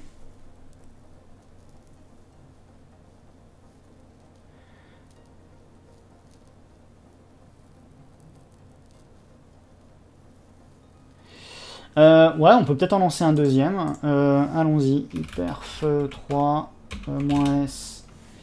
alors moins P 5212 on va dire. Moins S. Et puis, et puis on va retourner là. Tiens, je vais couper du firewall là. exit logout. Voilà. et on va lancer un hyperf 3. 3 euh, moins T0 moins P, j'ai dit 5212 et euh, moins C et 10.2.1. Ah, c'est en train de baisser, regarde. Il est en train d'équilibrer entre les deux en fait.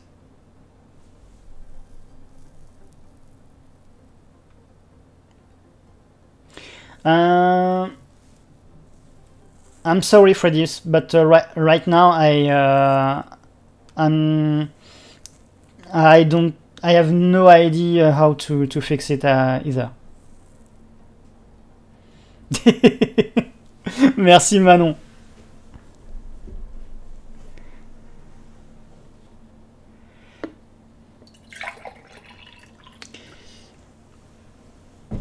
Alors en toute logique, euh, VLMAT, toutes les, euh, toutes les cartes réseau sont en Virtaio. Merci pour le follow Fallon, merci beaucoup. Euh, on va vérifier, tiens, Firewall, hop, ici. Virtaio, Virtaio, Virtaio. sur, sur les routeurs, normalement, quand je les ai configurés, c'était full Virtaio partout. Hein. Virtaio, Virtaio, Virtaio, toujours. Et par acquis de conscience sur la workstation, hop, si je reviens ici, l'interface réseau est en Virtaio. Je, mets du Virtaio partout en fait. C'est... Euh,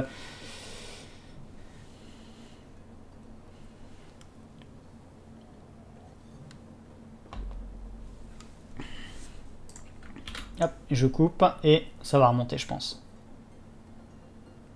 En fait, j'ai vraiment l'impression que le, euh, le, euh, le goulot d'étranglement, c'est le firewall là dans ce cas-là. Hein. parce que j'ai même VLMAT, j'avais pas eu besoin de, euh, de modifier euh, le nombre de processeurs pour, euh, pour, faire, du, pour faire du DJ entre ici et là, alors que je passais par deux routeurs.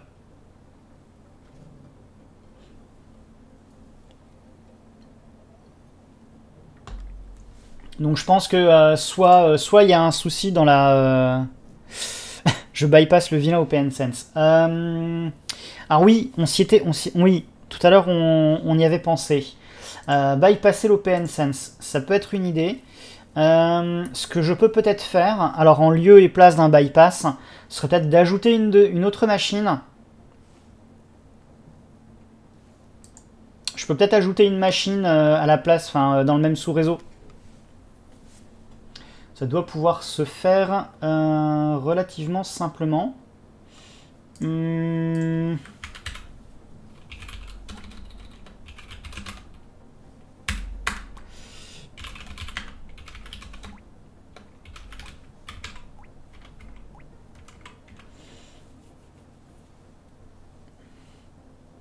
Alors,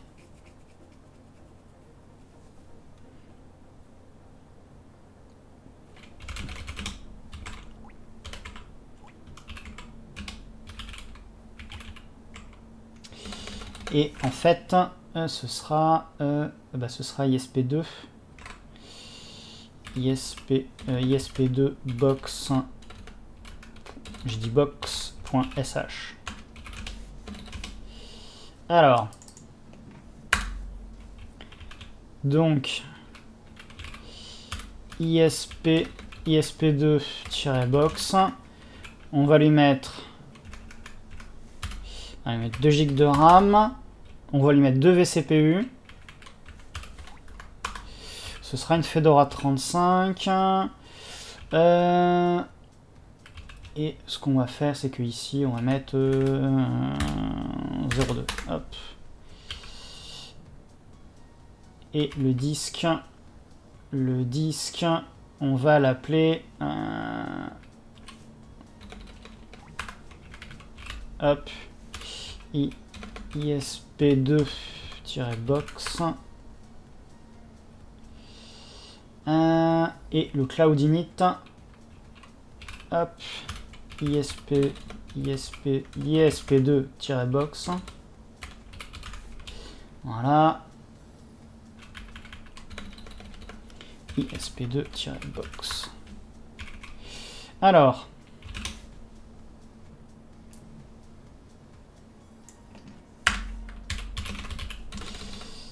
Tant qu'à faire, hein, je, me, sers du stream sur Cloud Init. Hein, je vais pas, je vais pas m'embêter la vie.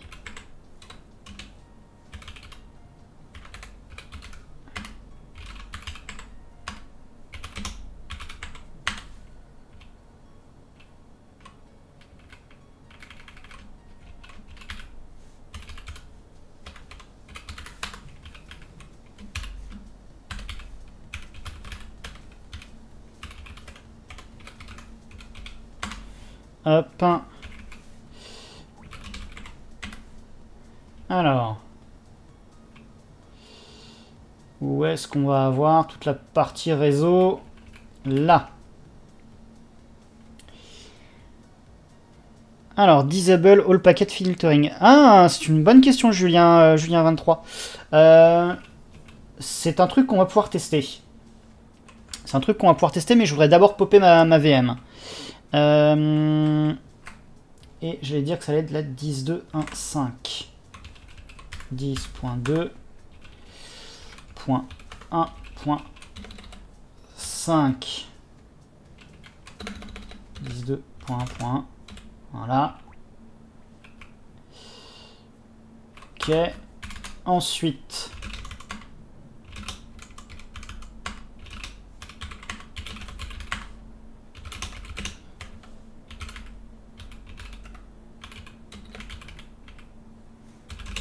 Et on a init en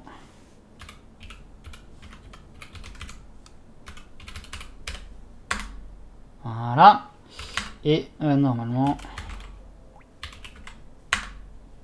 Voilà, donc là on lance le pop de la, euh, de la box. Et on va pouvoir aller dans euh, OpenSense. Alors, Firewall, Settings. Alors, Settings, Advanced. Et on peut essayer d'aller désactiver Disable All Packet Filtering. Alors... Disable. Alors, Disable Force Gateway, non. Disable Firewall. Hop. Warning.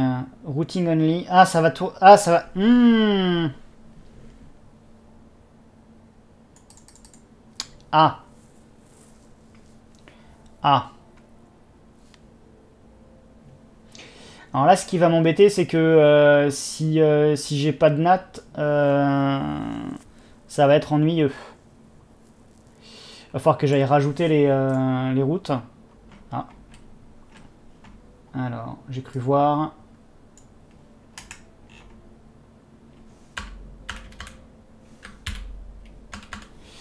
Alors. Euh... Alors Julien, je suis très tenté de vouloir le faire, mais euh,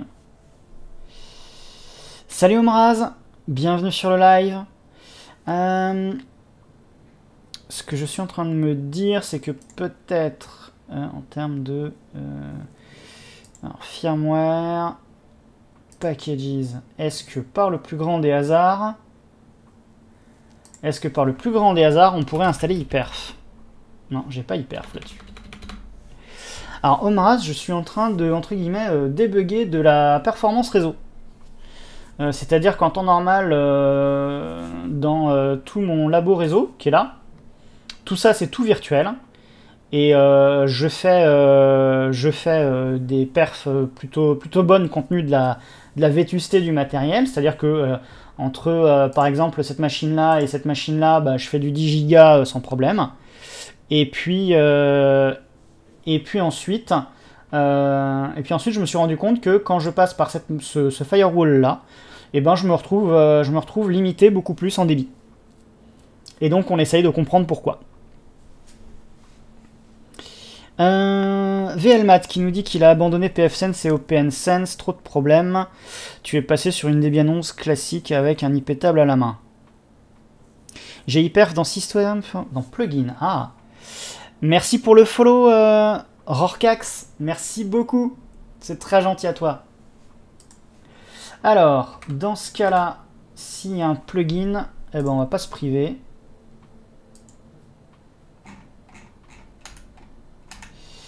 Plugin hyperf. OS hyperf, nickel. The update to... Ah, bon, bah écoute, euh, si en plus il faut mettre à jour, eh ben, on va mettre à jour. Hein. Euh, tu, tu, tu, tu, updates. Je dois en avoir quelques-unes qui, euh, qui attendent hein, des, updates. Ah non, pas tant que ça en fait, je suis en 21.7.7.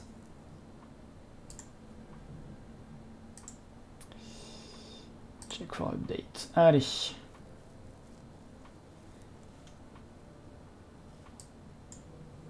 Alors. Allez. Il va me mettre en 21.7.8. Ok, update. Et il va rebooter après. Et là, après l'update, je suis en Sanger. Euh, bah écoute, euh, si ça se trouve, c'est peut-être ça. Hein. C'est peut-être un problème logiciel côté, euh, côté OpenSense. Hein. on n'est pas à l'abri d'une surprise. Hein. Ce sera pas la première fois. Alors, ce sera pas la première fois qu'on tombe sur des bugs hein, sur, sur les vidéos ici. je, dis ça parce que j'avais. c'est déjà arrivé deux fois même si j'essaye toujours de partir du principe que le problème n'est pas euh, logiciel, mais plutôt entre la chaise et le clavier. Ah mince Manon, dommage pour ta migraine. Y a pas de souci, passe une bonne fin de soirée, repose-toi bien. Hmm. J'espère que ça passera très vite.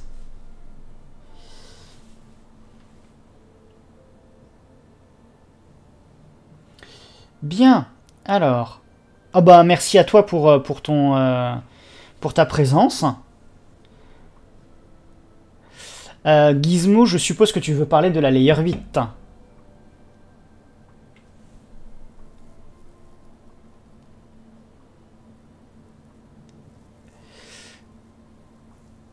Mais il n'y a pas de souci, on s'est compris Gizmo. Euh, Omraz, c'est une sorte de résistance virtuelle euh, tu, penses, tu penses électrique, là, en fait?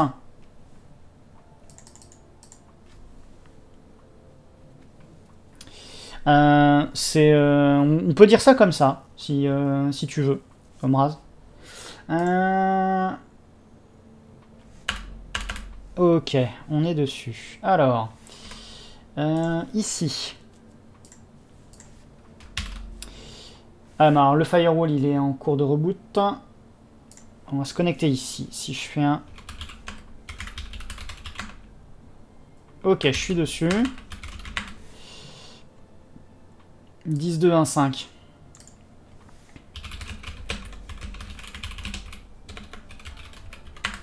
Donc là, bah tiens, je vais mettre à jour le, le, euh, le schéma, entre guillemets. oui, encore un coup d'à coup 8, tout à fait. Euh, ce que je vais faire, c'est que je vais prendre, tiens, ça, voilà, je vais le mettre ici, et ce qu'on va faire, c'est qu'on va prendre un petit trait là, hop, on va aller le mettre, euh, on va aller le mettre, euh, ouais, là, par exemple, on va le mettre comme ça,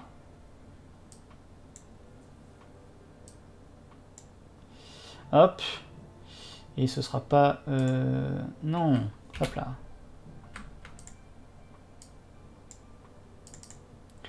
Et c'est donc 10, 5, non 10, 2, 1, 5. Et c'est ISP2 box. Hop là.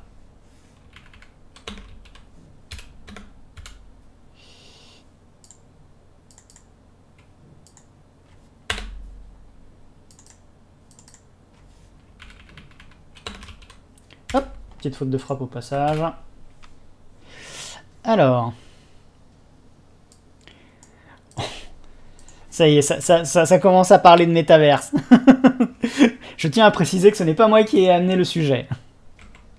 Euh, ok, lui il est en train d'installer les packages. Et euh, est-ce que le firewall a redémarré? Oui, il a redémarré. Hop. Donc maintenant, euh, je vais quand même aller vérifier s'il n'y a pas d'autres mises à jour firmware update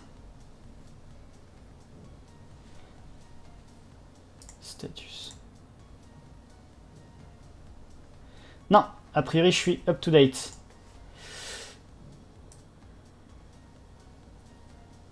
Ah non, si, il y a une, une 22.1.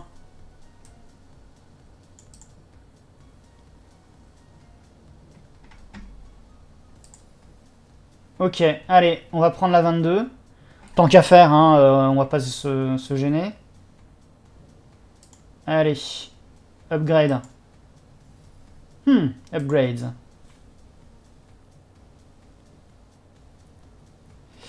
Alors, Nidouille qui vient de regarder le kernel Edge pour Proxmox.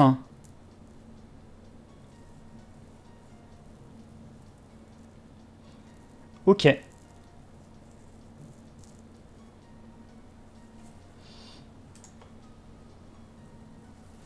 Allez. Est-ce que pendant ce temps, il perd fin Ah. Comment ça, erreur? Could not resolve hostname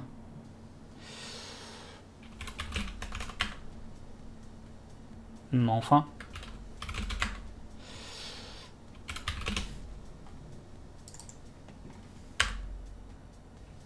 Ah, c'est pas la bonne IP. 10, 2, 1, 1. Je suis bien dans le bon subnet ou euh, il y a un souci? Je suis peut-être pas dans le bon subnet.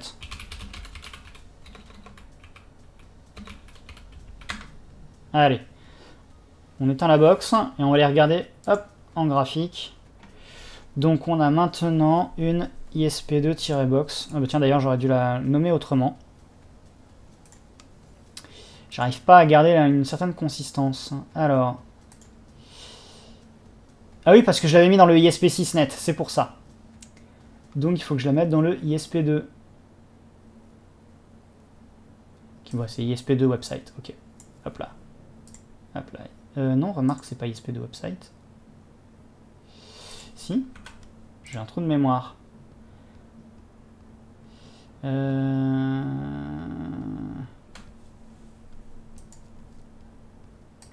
De toute façon, j'ai... Euh, ok, là non plus, j'ai pas été très consistant sur les trucs. Donc c'est ISP2 website alors. Hop, allez. On redémarre. Ah, il a pas fini de s'éteindre? Ah non, il a pas fini de s'éteindre. Il a redémarré. Ah oui, il a redémarré. Euh... Ah oui, Gizmo, j'ai pas encore rajouté de titre dans la, playlist. Elle tourne un peu en boucle. Euh,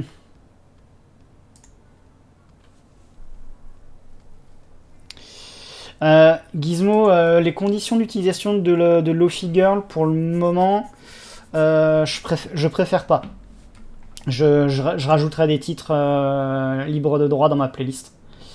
hop là. et on va la rallumer.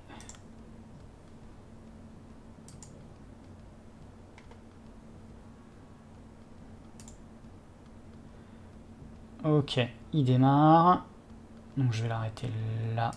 Hop. Euh, et ce que je peux faire, c'est faire un sh console isp2-box.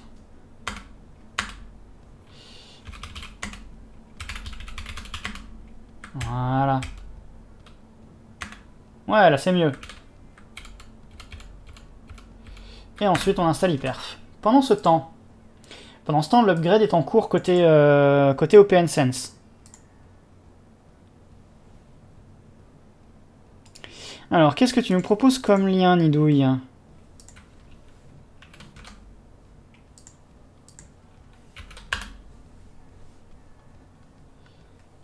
Guide to FreeBSD Desktop Distributions. Ah Il n'y avait pas eu un truc... Euh, mince. Comment ça s'appelait euh, Parce que euh, y, y, avait une société qui avait essayé de faire un système FreeBSD bureautique. Ça s'appelait PCBSD de mémoire. Ça existe encore ça?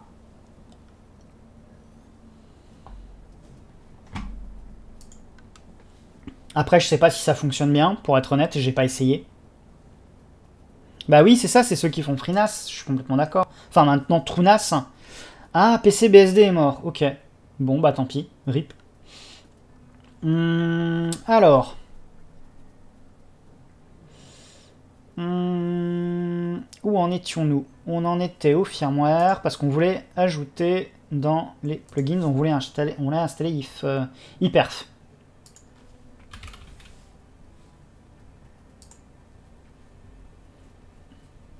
Hein Quoi? A encore une mise à jour à faire? Mais je vais passer ma soirée à mettre à jour euh, OpenSense, ma parole.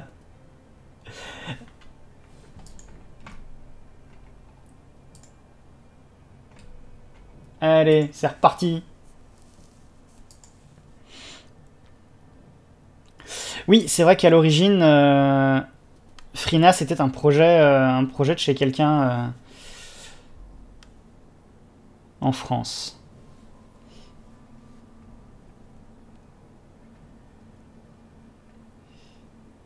D'accord.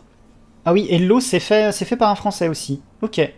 Donc Hello, pour celles et ceux qui se demandent, c'est un projet de, de, de FreeBSD, de comment dire, d'une distribution FreeBSD euh, un peu plus. Euh, comment dire Ah non euh, Hello est pas un projet français. Ok. Merci pour le follow, Amraz. Merci beaucoup.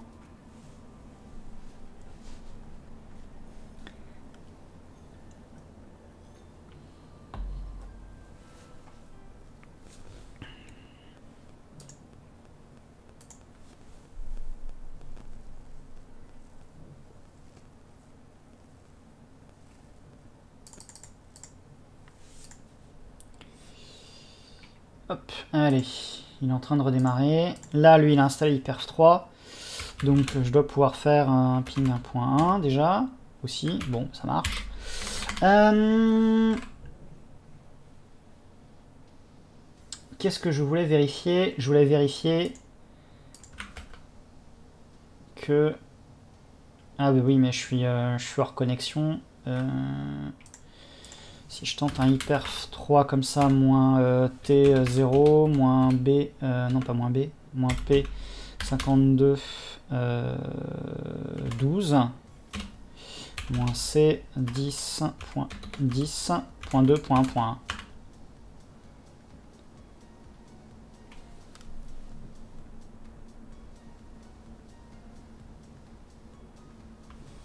Ok, donc je suis à 17, 17 gigabits seconde.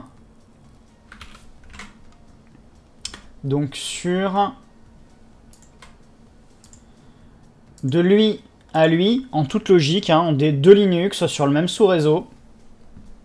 Je suis à 17... Euh, combien j'ai dit? 17 gigabits seconde entre 15 et... Entre, ah, entre 13... Entre 13 et 18.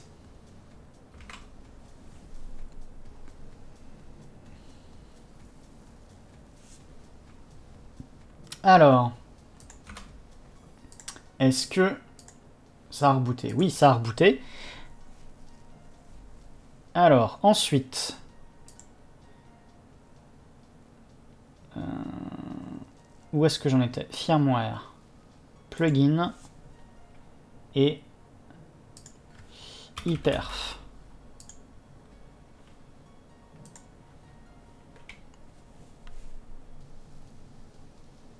Alors, Omraz, euh, j'essaye euh, de, tester des perfs réseau. Et là, en fait, je me rends compte que sur cette machine, là, ISP2Box, que je viens de mettre en place, euh, je suis à un débit réseau qui est tout à fait satisfaisant. Et maintenant, ce que je vais faire, une fois que j'aurai terminé là, toutes mes mises à jour sur OpenSense, eh ben, je vais faire pareil. Je vais faire un bench, un bench de, de, débit réseau pour vérifier, parce que l'OpenSense, il est là. Et donc je vais vérifier entre cette machine et l'OpenSense si le débit réseau est tout aussi confortable pardon, que entre juste celle-ci et, elle. Hop. Alors, où est-ce qu'il en est? Il a fini. Donc maintenant, interface diagnostic perf. Ok. Hop. Interfaces. Diagnostic. J'ai rien, je pense qu'il faut que je me délogue et que je me relogue. Que je fasse un petit euh, contrôle shifter. Hop. Interface. Diagnostic. Ah ouais, ça y est, hyper. Euh, bah justement, on a essayé un certain nombre de, euh, de machines qui avaient l'air d'être représentatives, Omraz. Alors, interface, c'est bon, on va prendre la one.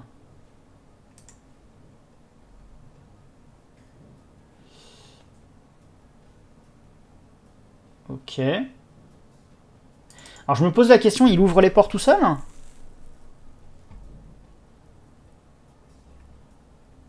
Parce que dans ce cas-là, je, je vais peut-être plutôt faire sur le LAN, dans un premier temps.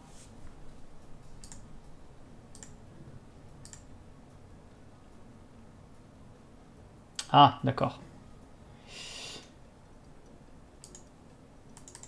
Ah, donc là, en fait, il a lancé des serveurs hyperf, je pense. Donc, ce que je peux faire, c'est aller me mettre, hop, ici. LAN, c'est local. Tout à fait, Omraz. LAN, ça veut dire Local Area Network. Donc, un petit hyperf. Hein. Non, allez, hyperf 3. Euh, moins T0, moins euh, P, on a dit que c'était ce... Hop là euh, Hop là Hop. Voilà. et on va sur 10.13.31. Non, il n'en veut pas. parce que j'ai oublié moins C. Hop. Voilà. Je, crois qu'on tient un truc, hein. Je crois qu'on tient un truc. C'est effectivement le... Euh,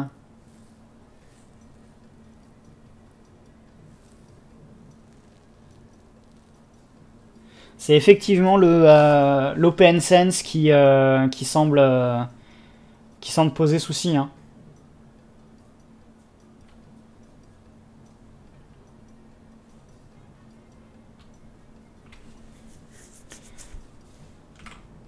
Donc maintenant la question c'est un, est-ce qu'on peut, euh, qu'on peut faire un peu de... Est-ce qu'on peut faire un peu de tuning?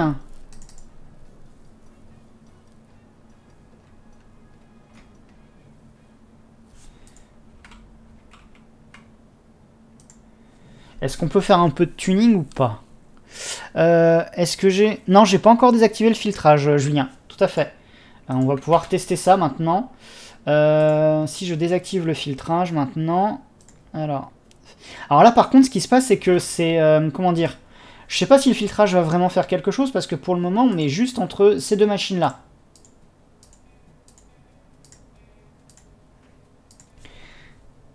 Donc a priori, il euh, n'y a pas de raison que le filtrage fasse quelque chose, mais on sait jamais. On sait jamais, ça vaut le coup d'essayer. donc on disait... Firewall, Settings, Avancé. Salut Astaz Astast, euh, bienvenue sur le, live. Euh, tu dis que tu te demandes si tu as pareil avec PFSense car c'est aussi une limitation chez toi. Alors Omraz, j'appelle pas ça du piratage. Euh. Alors, il est passé où? Disable Firewall. Voilà. Merci pour le follow. Merci beaucoup, Astaz. Euh, hop là. J'espère que j'écorche pas trop les pseudos ce soir. Hein. Il y a pas mal de follow. Je vais pas m'en plaindre, loin de là. Euh, j'ai sauvé, mais alors la question c'est est-ce qu'il a appliqué? Oui, il a dit que ça a été appliqué. Ok. Euh, bon, bah on va recommencer. Hein. Euh, hop, on est là. Ah, il n'y a plus rien. Ah, on va revérifier hyperf. Si ça se trouve, il les a, fait sauter. Euh, on avait dit interface. Interface, diagnostic, hyperf. On va, on, va, tout nettoyer au cas où. Hop.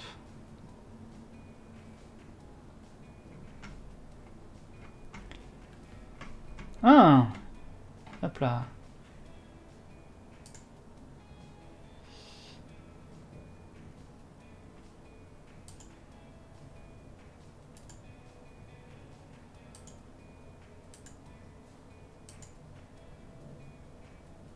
J'ai un peu du mal à saisir là, il a... Il a rien, il a rien supprimé Ah non, c'est qu'il a tout remis à zéro dans les... Non?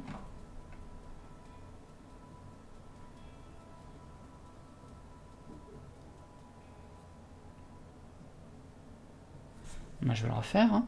Euh, sur le LAN.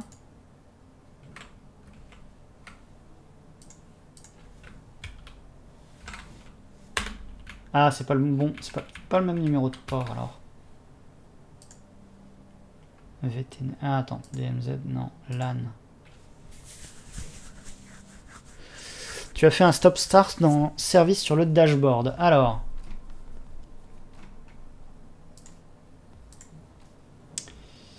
Euh, service. Ah oui, hyperf. Stop. Et start. Ok. Et maintenant, on retourne dans l'interface, diagnostic, hyperf. Ah oui, là c'est mieux.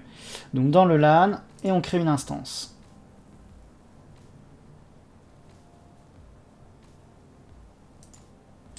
Voilà, hop.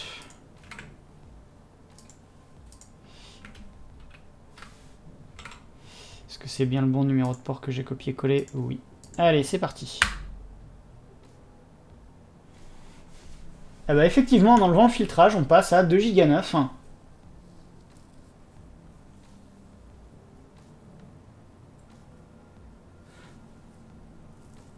Voilà qui est instructif. Voilà qui est très instructif. Bravo Julien. Moi je, propose que... Euh, bien vu, bien vu Julien.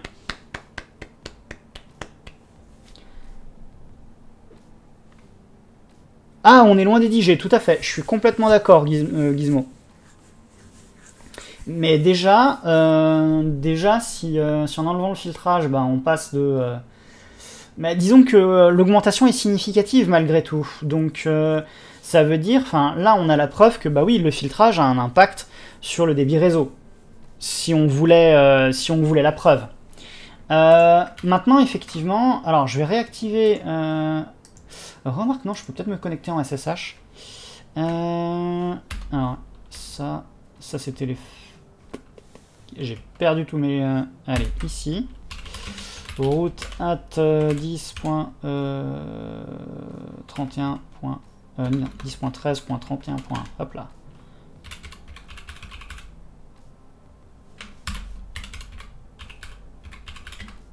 Voilà. Euh, on va faire un petit shell. Voilà. et on va en faire un deuxième. Hop.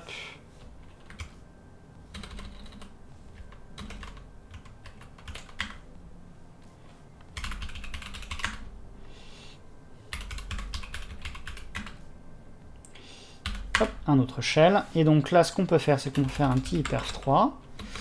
Euh, moins euh, P, on va dire 52, euh, 25. Voilà. et moins S. Voilà. et on peut faire un hyperf 3 moins P 52, 25 moins C. Et on fait 127.0.0.1. Et en local pur, il patate à presque, oh punaise, 27 giga 9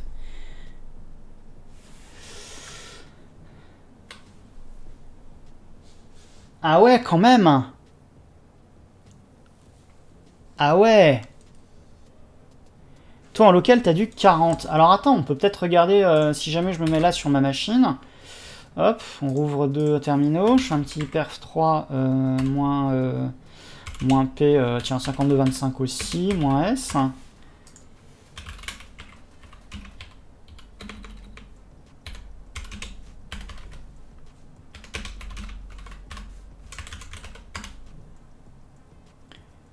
Non, 21-22 là, euh, en fait. Donc euh, après, c'est peut-être une limitation matérielle de mon côté, hein, VLMAT. Tu, tu m'as pas dit d'ailleurs quel, quel type de matériel tu avais en termes de génération de CPU. Alors, Julien qui nous dit FreeBSD performance sur Proxmox. C'est un vieux problème. Ah Alors, allons voir ce lien-là. Allons-y.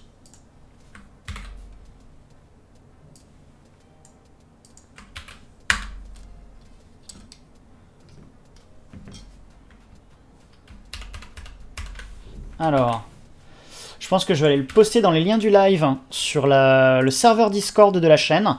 N'hésitez pas, hein, il y a le lien qui est quelque part en dessous. Hop là.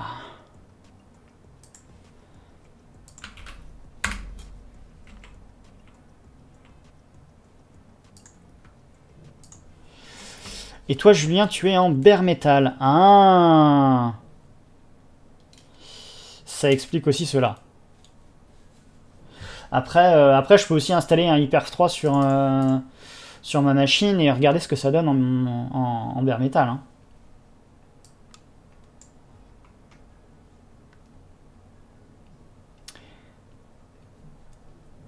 Donc déjà, il a remarqué qu'il avait des... Euh, il avait... il avait Suricata qui venait lui, lui manger de la bande passante. je pensais tout de suite à réactiver le filtrage. Parce que je, sens que je vais l'oublier. Je sens que je vais l'oublier. Euh,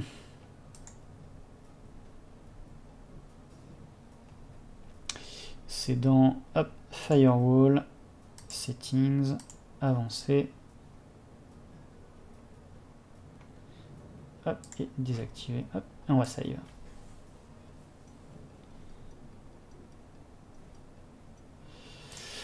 Donc, euh, ouais, puis en plus, il avait euh, HP Z420, ça va, 16 euh, cœurs, un E5 26 60, ça va, c'est pas, c'est pas non plus...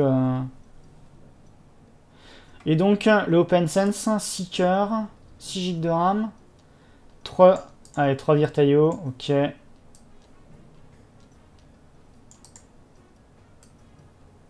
Ouais, CPU, ça c'est ce qu'on a vu. CPU RAM, c'est pas le, c'est pas le, le goulot d'étranglement.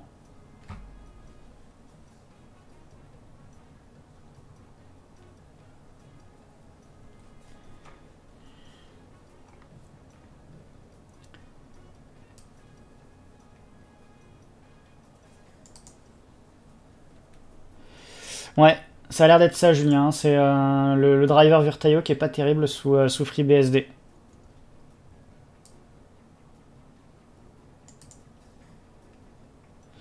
Et il a essayé d'utiliser des, ouais, des paramètres de euh, des paramètres de, de, tuning, mais il a rien.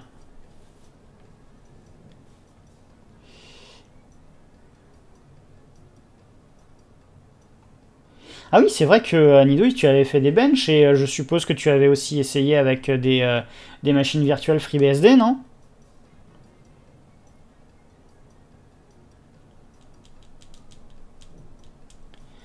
Ah, le, le, driver... Alors ça, c'est marrant, VLMAT, que tu dis que tu as des meilleurs perfs avec le E1000 sous, sous Windows.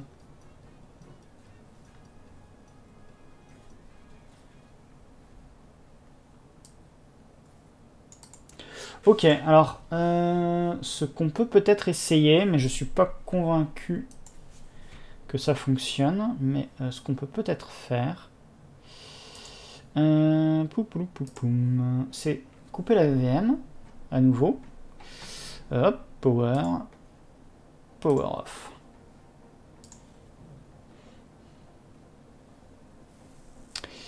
Alors, disabling hardware sesame is recommended when using PF. Non-issue. Oh euh, pop, pop, pop. Alors du coup, je vais la, je vais la rebooter. Euh...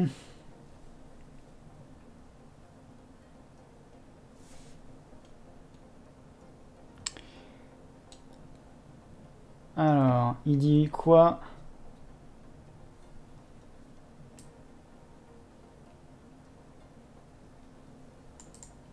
Alors. 512 mégas minimum. Ok, network. Network, tout or more Virtaio. Ok. Primary, ok. Important. VTNet. Système avancé, disable, hardware, checksum, offload. Je vais, euh, je vais aller vérifier parce que je me demande si, on pas, si je l'avais pas fait. Euh... Euh... On va s'embêter la vie. On va la redémarrer ici. Hop. Je vais la redémarrer, puis je vais regarder cette, euh, cette, cette histoire.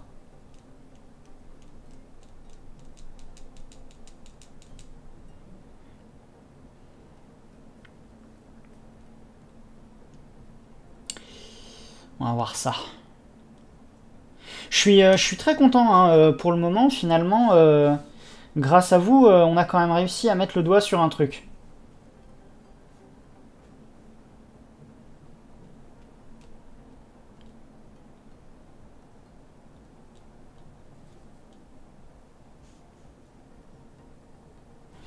Alors, ça a redémarré.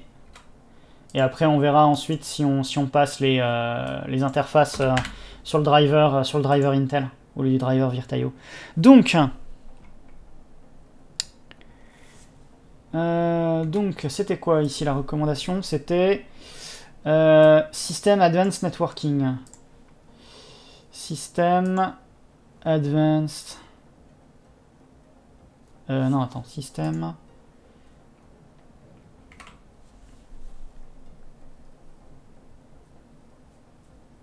Hmm, j'ai l'impression que le menu a dû changer depuis la, fois où il y avait le truc. Euh, il disait... Non, hop, pas le schéma. Hop là. Enter the web GUI and go System Advanced Networking, ça a pas l'air d'être ça.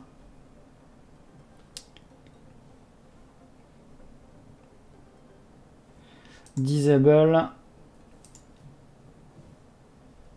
Ah, ce sont des menus pfSense. Ah oui, il y a écrit pfSense. Ok.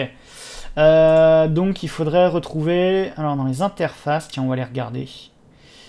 Euh, settings.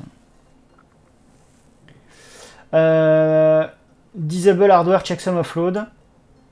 Disable hardware TCP segmentation offload. Ouais, je les ai tous désactivés.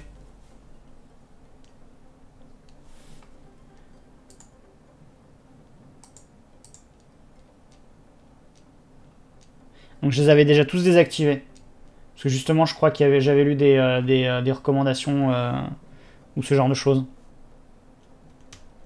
Bon, bah, on va peut-être essayer de les passer en, driver Intel. Hein. On va bien voir ce que ça donne. Allez, cette fois-ci, on l'éteint à nouveau.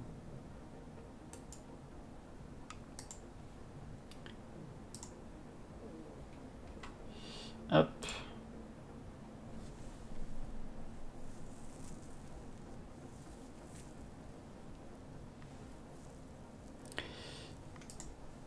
Euh, je crois qu'ils sont passés en, FreeBSD 13 maintenant. On peut aller vérifier d'ailleurs. Euh, hop, pfsense.org. Euh, get started. Ah, download, hop là. Source code pfSense.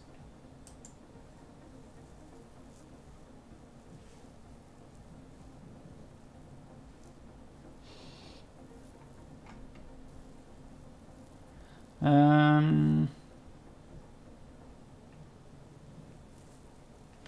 Je sais pas trop où est-ce qu'on peut voir... Euh...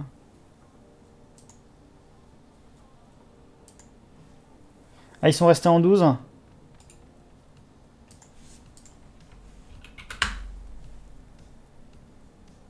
Ah ben... Euh...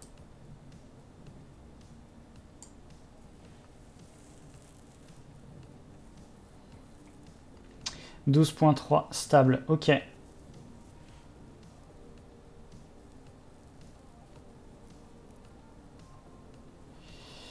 Bonne fin de soirée à toi Gizmo, merci beaucoup pour ta présence.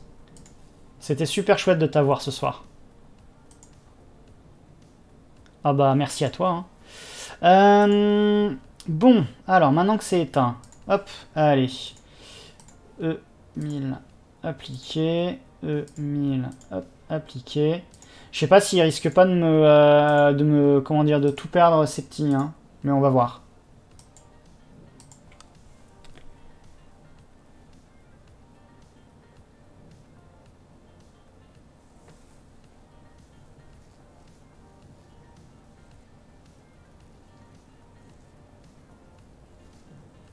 Je, suis, euh, je, crains que ces, ces interfaces du coup soient renommées, un truc comme ça, non?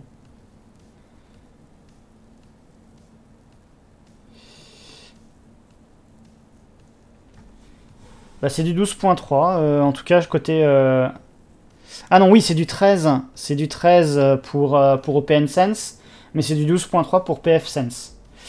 Euh... Ouais, c'est ça, il a perdu les interfaces. Ok.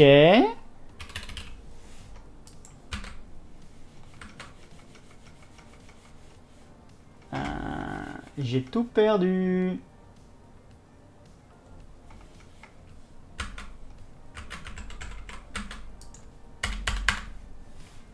J'ai tout perdu. Alors, je, vois dans le retour vidéo que le stream fonctionne encore. Je sais pas si vous m'entendez.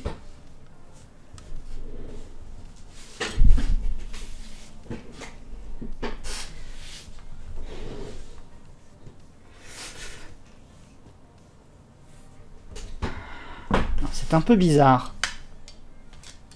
Alors, on me voit bouger, mais il n'y a plus de son. Alors. Oui, on t'entend. Ok, on m'entend, on me voit bouger. Mais par contre, moi, l'écran. Il fait un roto. Euh, non, non, non, euh, ouais, il y a du son. Bon, il y a du son. Mais là, j'ai perdu le clavier et la souris, c'est quand même bizarre.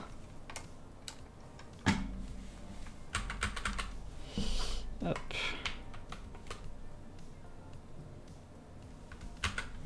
Ok, c'était juste le clavier et la souris.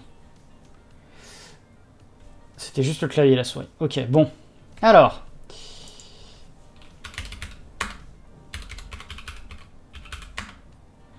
Ok. qui a besoin d'un clavier et d'une souris de toute façon? Oui, bah maintenant, euh, on devrait avoir des interfaces qui réagissent euh, à la parole, hein, quand même. Euh, assigner les interfaces. Alors.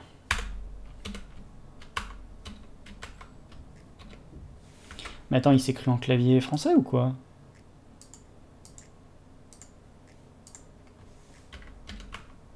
Il, se croit en clavier français. Ok, fantastique. Euh,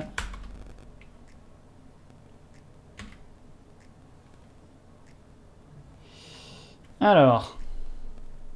Non. Non.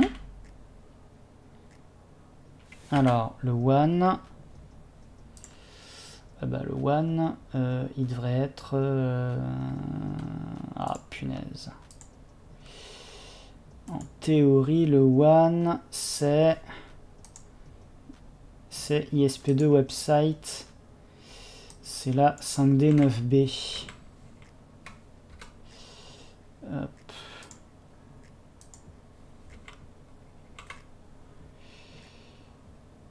Ouais, ouais. Ben, euh, ouais, je pense qu'après ce test-là, je vais. euh, 5D 9B, donc c'est EM1. Hop. EM1. Oh, c'est- ça fait bizarre. The LAN interface. Alors, the LAN interface. Et dans le LAN website, c'est la D2FE. D2FE, c'est la E EM0. EM0. Et donc, c'est l'autre. EM2.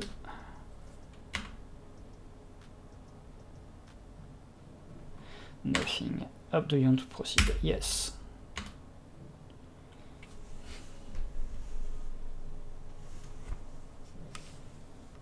Alors.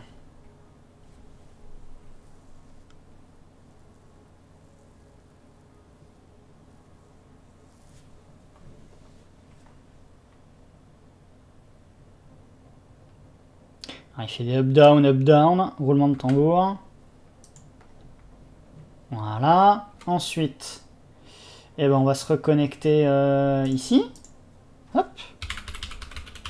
Et est-ce que par miracle...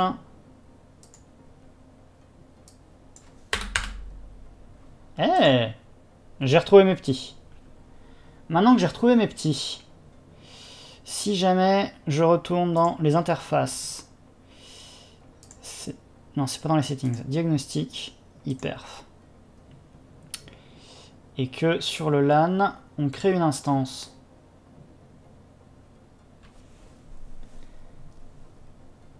Voilà. Sur le port, comme ça. Alors, roulement de tambour. Euh, website Workstation euh, sur le 6. Hop. Le 5. Non. Ah bah... Euh, pof, pof, pof. Euh, non, ah bah on va aller sur le 7. On va pas s'embêter. Hyperf. Sur ce numéro de port là. Et donc c'est la 10.13.31.1. Euh, non mais là c'est pire. là c'est pire. 200 mégabits. Me rembourser? Remboursez-moi OpenSense! Pour un produit gratuit, oui, j'avoue, c'est un peu abusé, mais... Euh, Donc en fait, euh, moi dans mon cas de figure, euh, dans ce cas de figure là, honnêtement, euh, pour moi, le driver Virtaio c'est celui qui se comporte le mieux. Enfin là, j'ai même carrément plus rien. Ouais, je vais désactiver le filtrage aussi, mais il n'empêche que le principe d'OpenSense, c'est quand même de filtrer. Hein. Et pourquoi j'ai rien? Attends, Tout à l'heure ça marchait. Je, vais le je vais le couper, je vais le relancer. Ouais, les voleurs de cuivre ont encore frappé. Euh, les voleurs de cuivre virtuels, ils font, ils font rien qu'à m'embêter en ce moment. Alors, hyperf. On arrête. Hop, et on relance.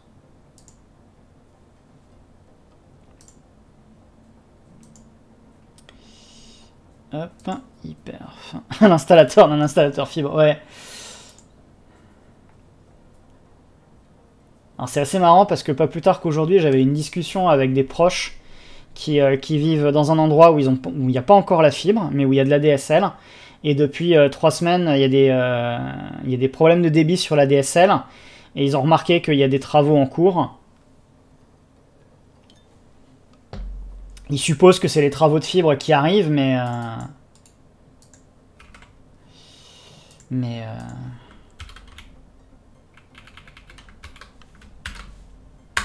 Ah non, c'est pas le bon. Euh, c'est pas le bon. Copier.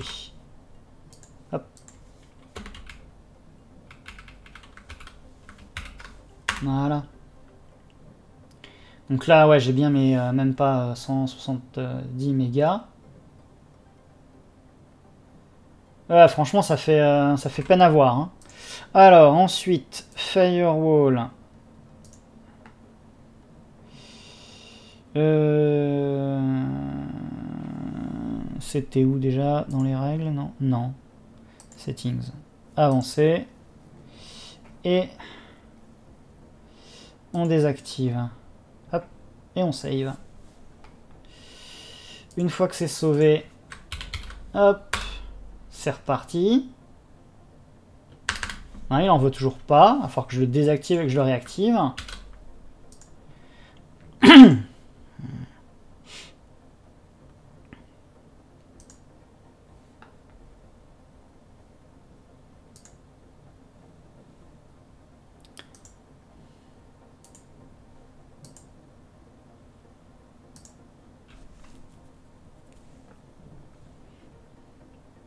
Euh, oui, c'est capricieux un OpenSense à jour. Je suis d'accord avec toi, Nidouille.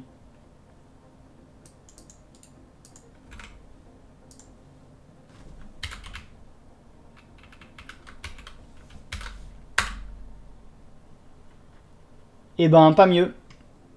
Voilà. Pas mieux.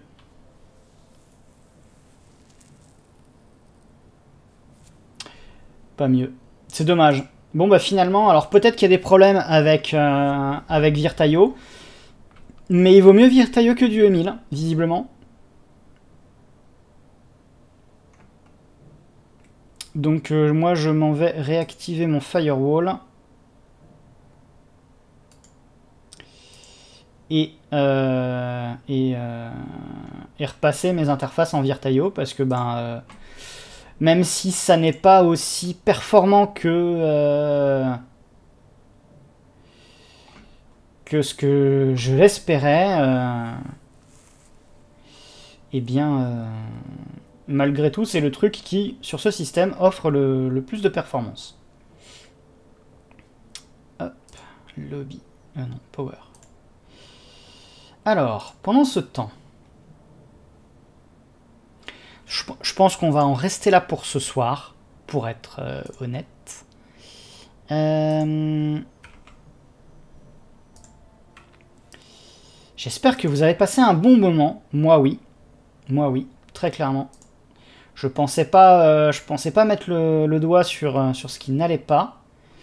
Mais en tout cas, grâce à vous, séance de debug, ma foi, ma foi fort, fort instructive. Ouais, bah oui, c'est ça, on a appris des choses. Et euh, moi, j'aime bien quand on apprend des choses hein, tout en, euh, tout en s'amusant, en, euh, faisant des trucs qui nous intéressent.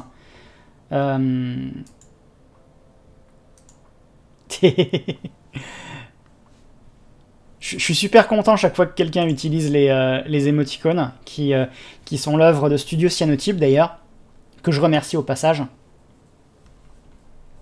Non, franchement, euh, franchement c'était super, euh, super chouette. Donc, euh, au final, qu'est-ce qui se passe? Eh ben, il se passe que quand, on a un, système OpenSense, le pilote, le pilote Virtaio est pas aussi performant que sur un Linux, et donc les performances réseau sont moindres. Voilà c'est euh, la conclusion de ce. Euh, j'ai envie de dire, c'est la conclusion de ce live. Euh, j'espère qu'il vous a plu. Alors, je sais qu'on est samedi soir et que, et que habituellement je ne stream pas les, les samedis soirs. Habituellement, je stream en fait les jeudis soirs de 20h à 22h et les dimanches soirs de 18h à 20h. en ce moment, j'ai une série qui est pour les débutants pour les débutants euh, le dimanche. Euh, où on apprend les bases de l'installation, de la configuration d'un serveur web sous Linux. Alors pour l'instant, on n'est pas encore à la partie web, mais juste à la partie, à la partie serveur. D'ailleurs, si ça vous intéresse, si ça vous intéresse, donc le, live est demain, demain à 18h, et en plus, tous les intitulés, tous les énoncés de TP sont disponibles sur GitHub. Euh, le, euh, le jeudi en ce moment c'est un peu plus euh, comment dire c'est un peu moins organisé. Là j'ai profité justement de, cette petite problématique pour avoir une série de quelques, épisodes. Mais on a d'autres, trucs, qui vont, arriver, très probablement, hein, sans garantie, mais très probablement en lien avec de l'automatisation. Euh, on a notamment terminé il n'y a pas très longtemps une série sur, euh, sur Cloud Init, qui était elle aussi très instructive. Et euh, je suis en train d'envisager, alors sans forcément promettre ce qui va se passer dans les, prochains streams, j'envisage soit de basculer sur des trucs de cloud public avec du Terraform. voilà, voilà. si jamais, bah, entre deux streams, euh, vous avez envie qu'on se retrouve, eh bien il y a euh, le Discord de, la chaîne, euh, dont, l'adresse est en dessous. Si jamais vous avez envie de voir d'anciens épisodes, vous pouvez aussi vous abonner à la chaîne YouTube. Et, sinon, si vous souhaitez me soutenir, eh ben, comme d'habitude, l'abonnement à la chaîne YouTube, le follow, le sub, enfin vous connaissez la chanson. avant de vous quitter, VLMAT qui voulait tester BSD pour, pour son routeur, euh, alors après, euh, si, euh, si ton routeur, enfin si les, en termes de réseau, t'es pas en des bits 42 en plus. Merci McCall pour les bits, ça fait vachement plaisir. Ça fait vraiment vraiment plaisir. Ah et puis en plus des ah oui, c'est vrai que oui, il y a les Netflix avec les trucs sous FreeBSD, ouais, c'est étonnant. Euh, peut-être. Euh, alors, ce qui se passe aussi, c'est qu'il y a peut-être une question de matériel. Hein. Il y a peut-être une question de matériel. pour rappel, euh, pour rappel, moi je suis sur une machine qui est quand même assez ancienne. Même si c'est de la virtualisation, c'est quand même une machine ancienne qui est dessous. Voili voilou. Bon, et eh ben, je pense qu'on va tous pouvoir aller se, coucher ou faire une fin de soirée en, se disant qu'on a quand même trouvé un truc sacrément, sacrément sympa, bien, bien planqué. Et, on va pouvoir continuer à, s'amuser à nouveau avec, ce Home Lab. Ah bah qui arrive, au dernier moment juste avant la fin. Euh, Gigino SRL, salut à toi. malheureusement, ça va, être, ça va être la fin du stream euh, dans un instant. Donc euh, je t'inviterai du coup à regarder le replay. Bah, je vais vous souhaiter une bonne nuit maintenant. Hein. Je vous dis à demain du coup pour, pour le stream, pour le stream débutant, comment dire, pour le stream plutôt destiné, destiné aux débutants. Et puis, euh, puis peut-être, sans, sans garantie aucune, peut-être un autre stream hors série un de ces jours. Bye bye Bonne nuit à toutes et à tous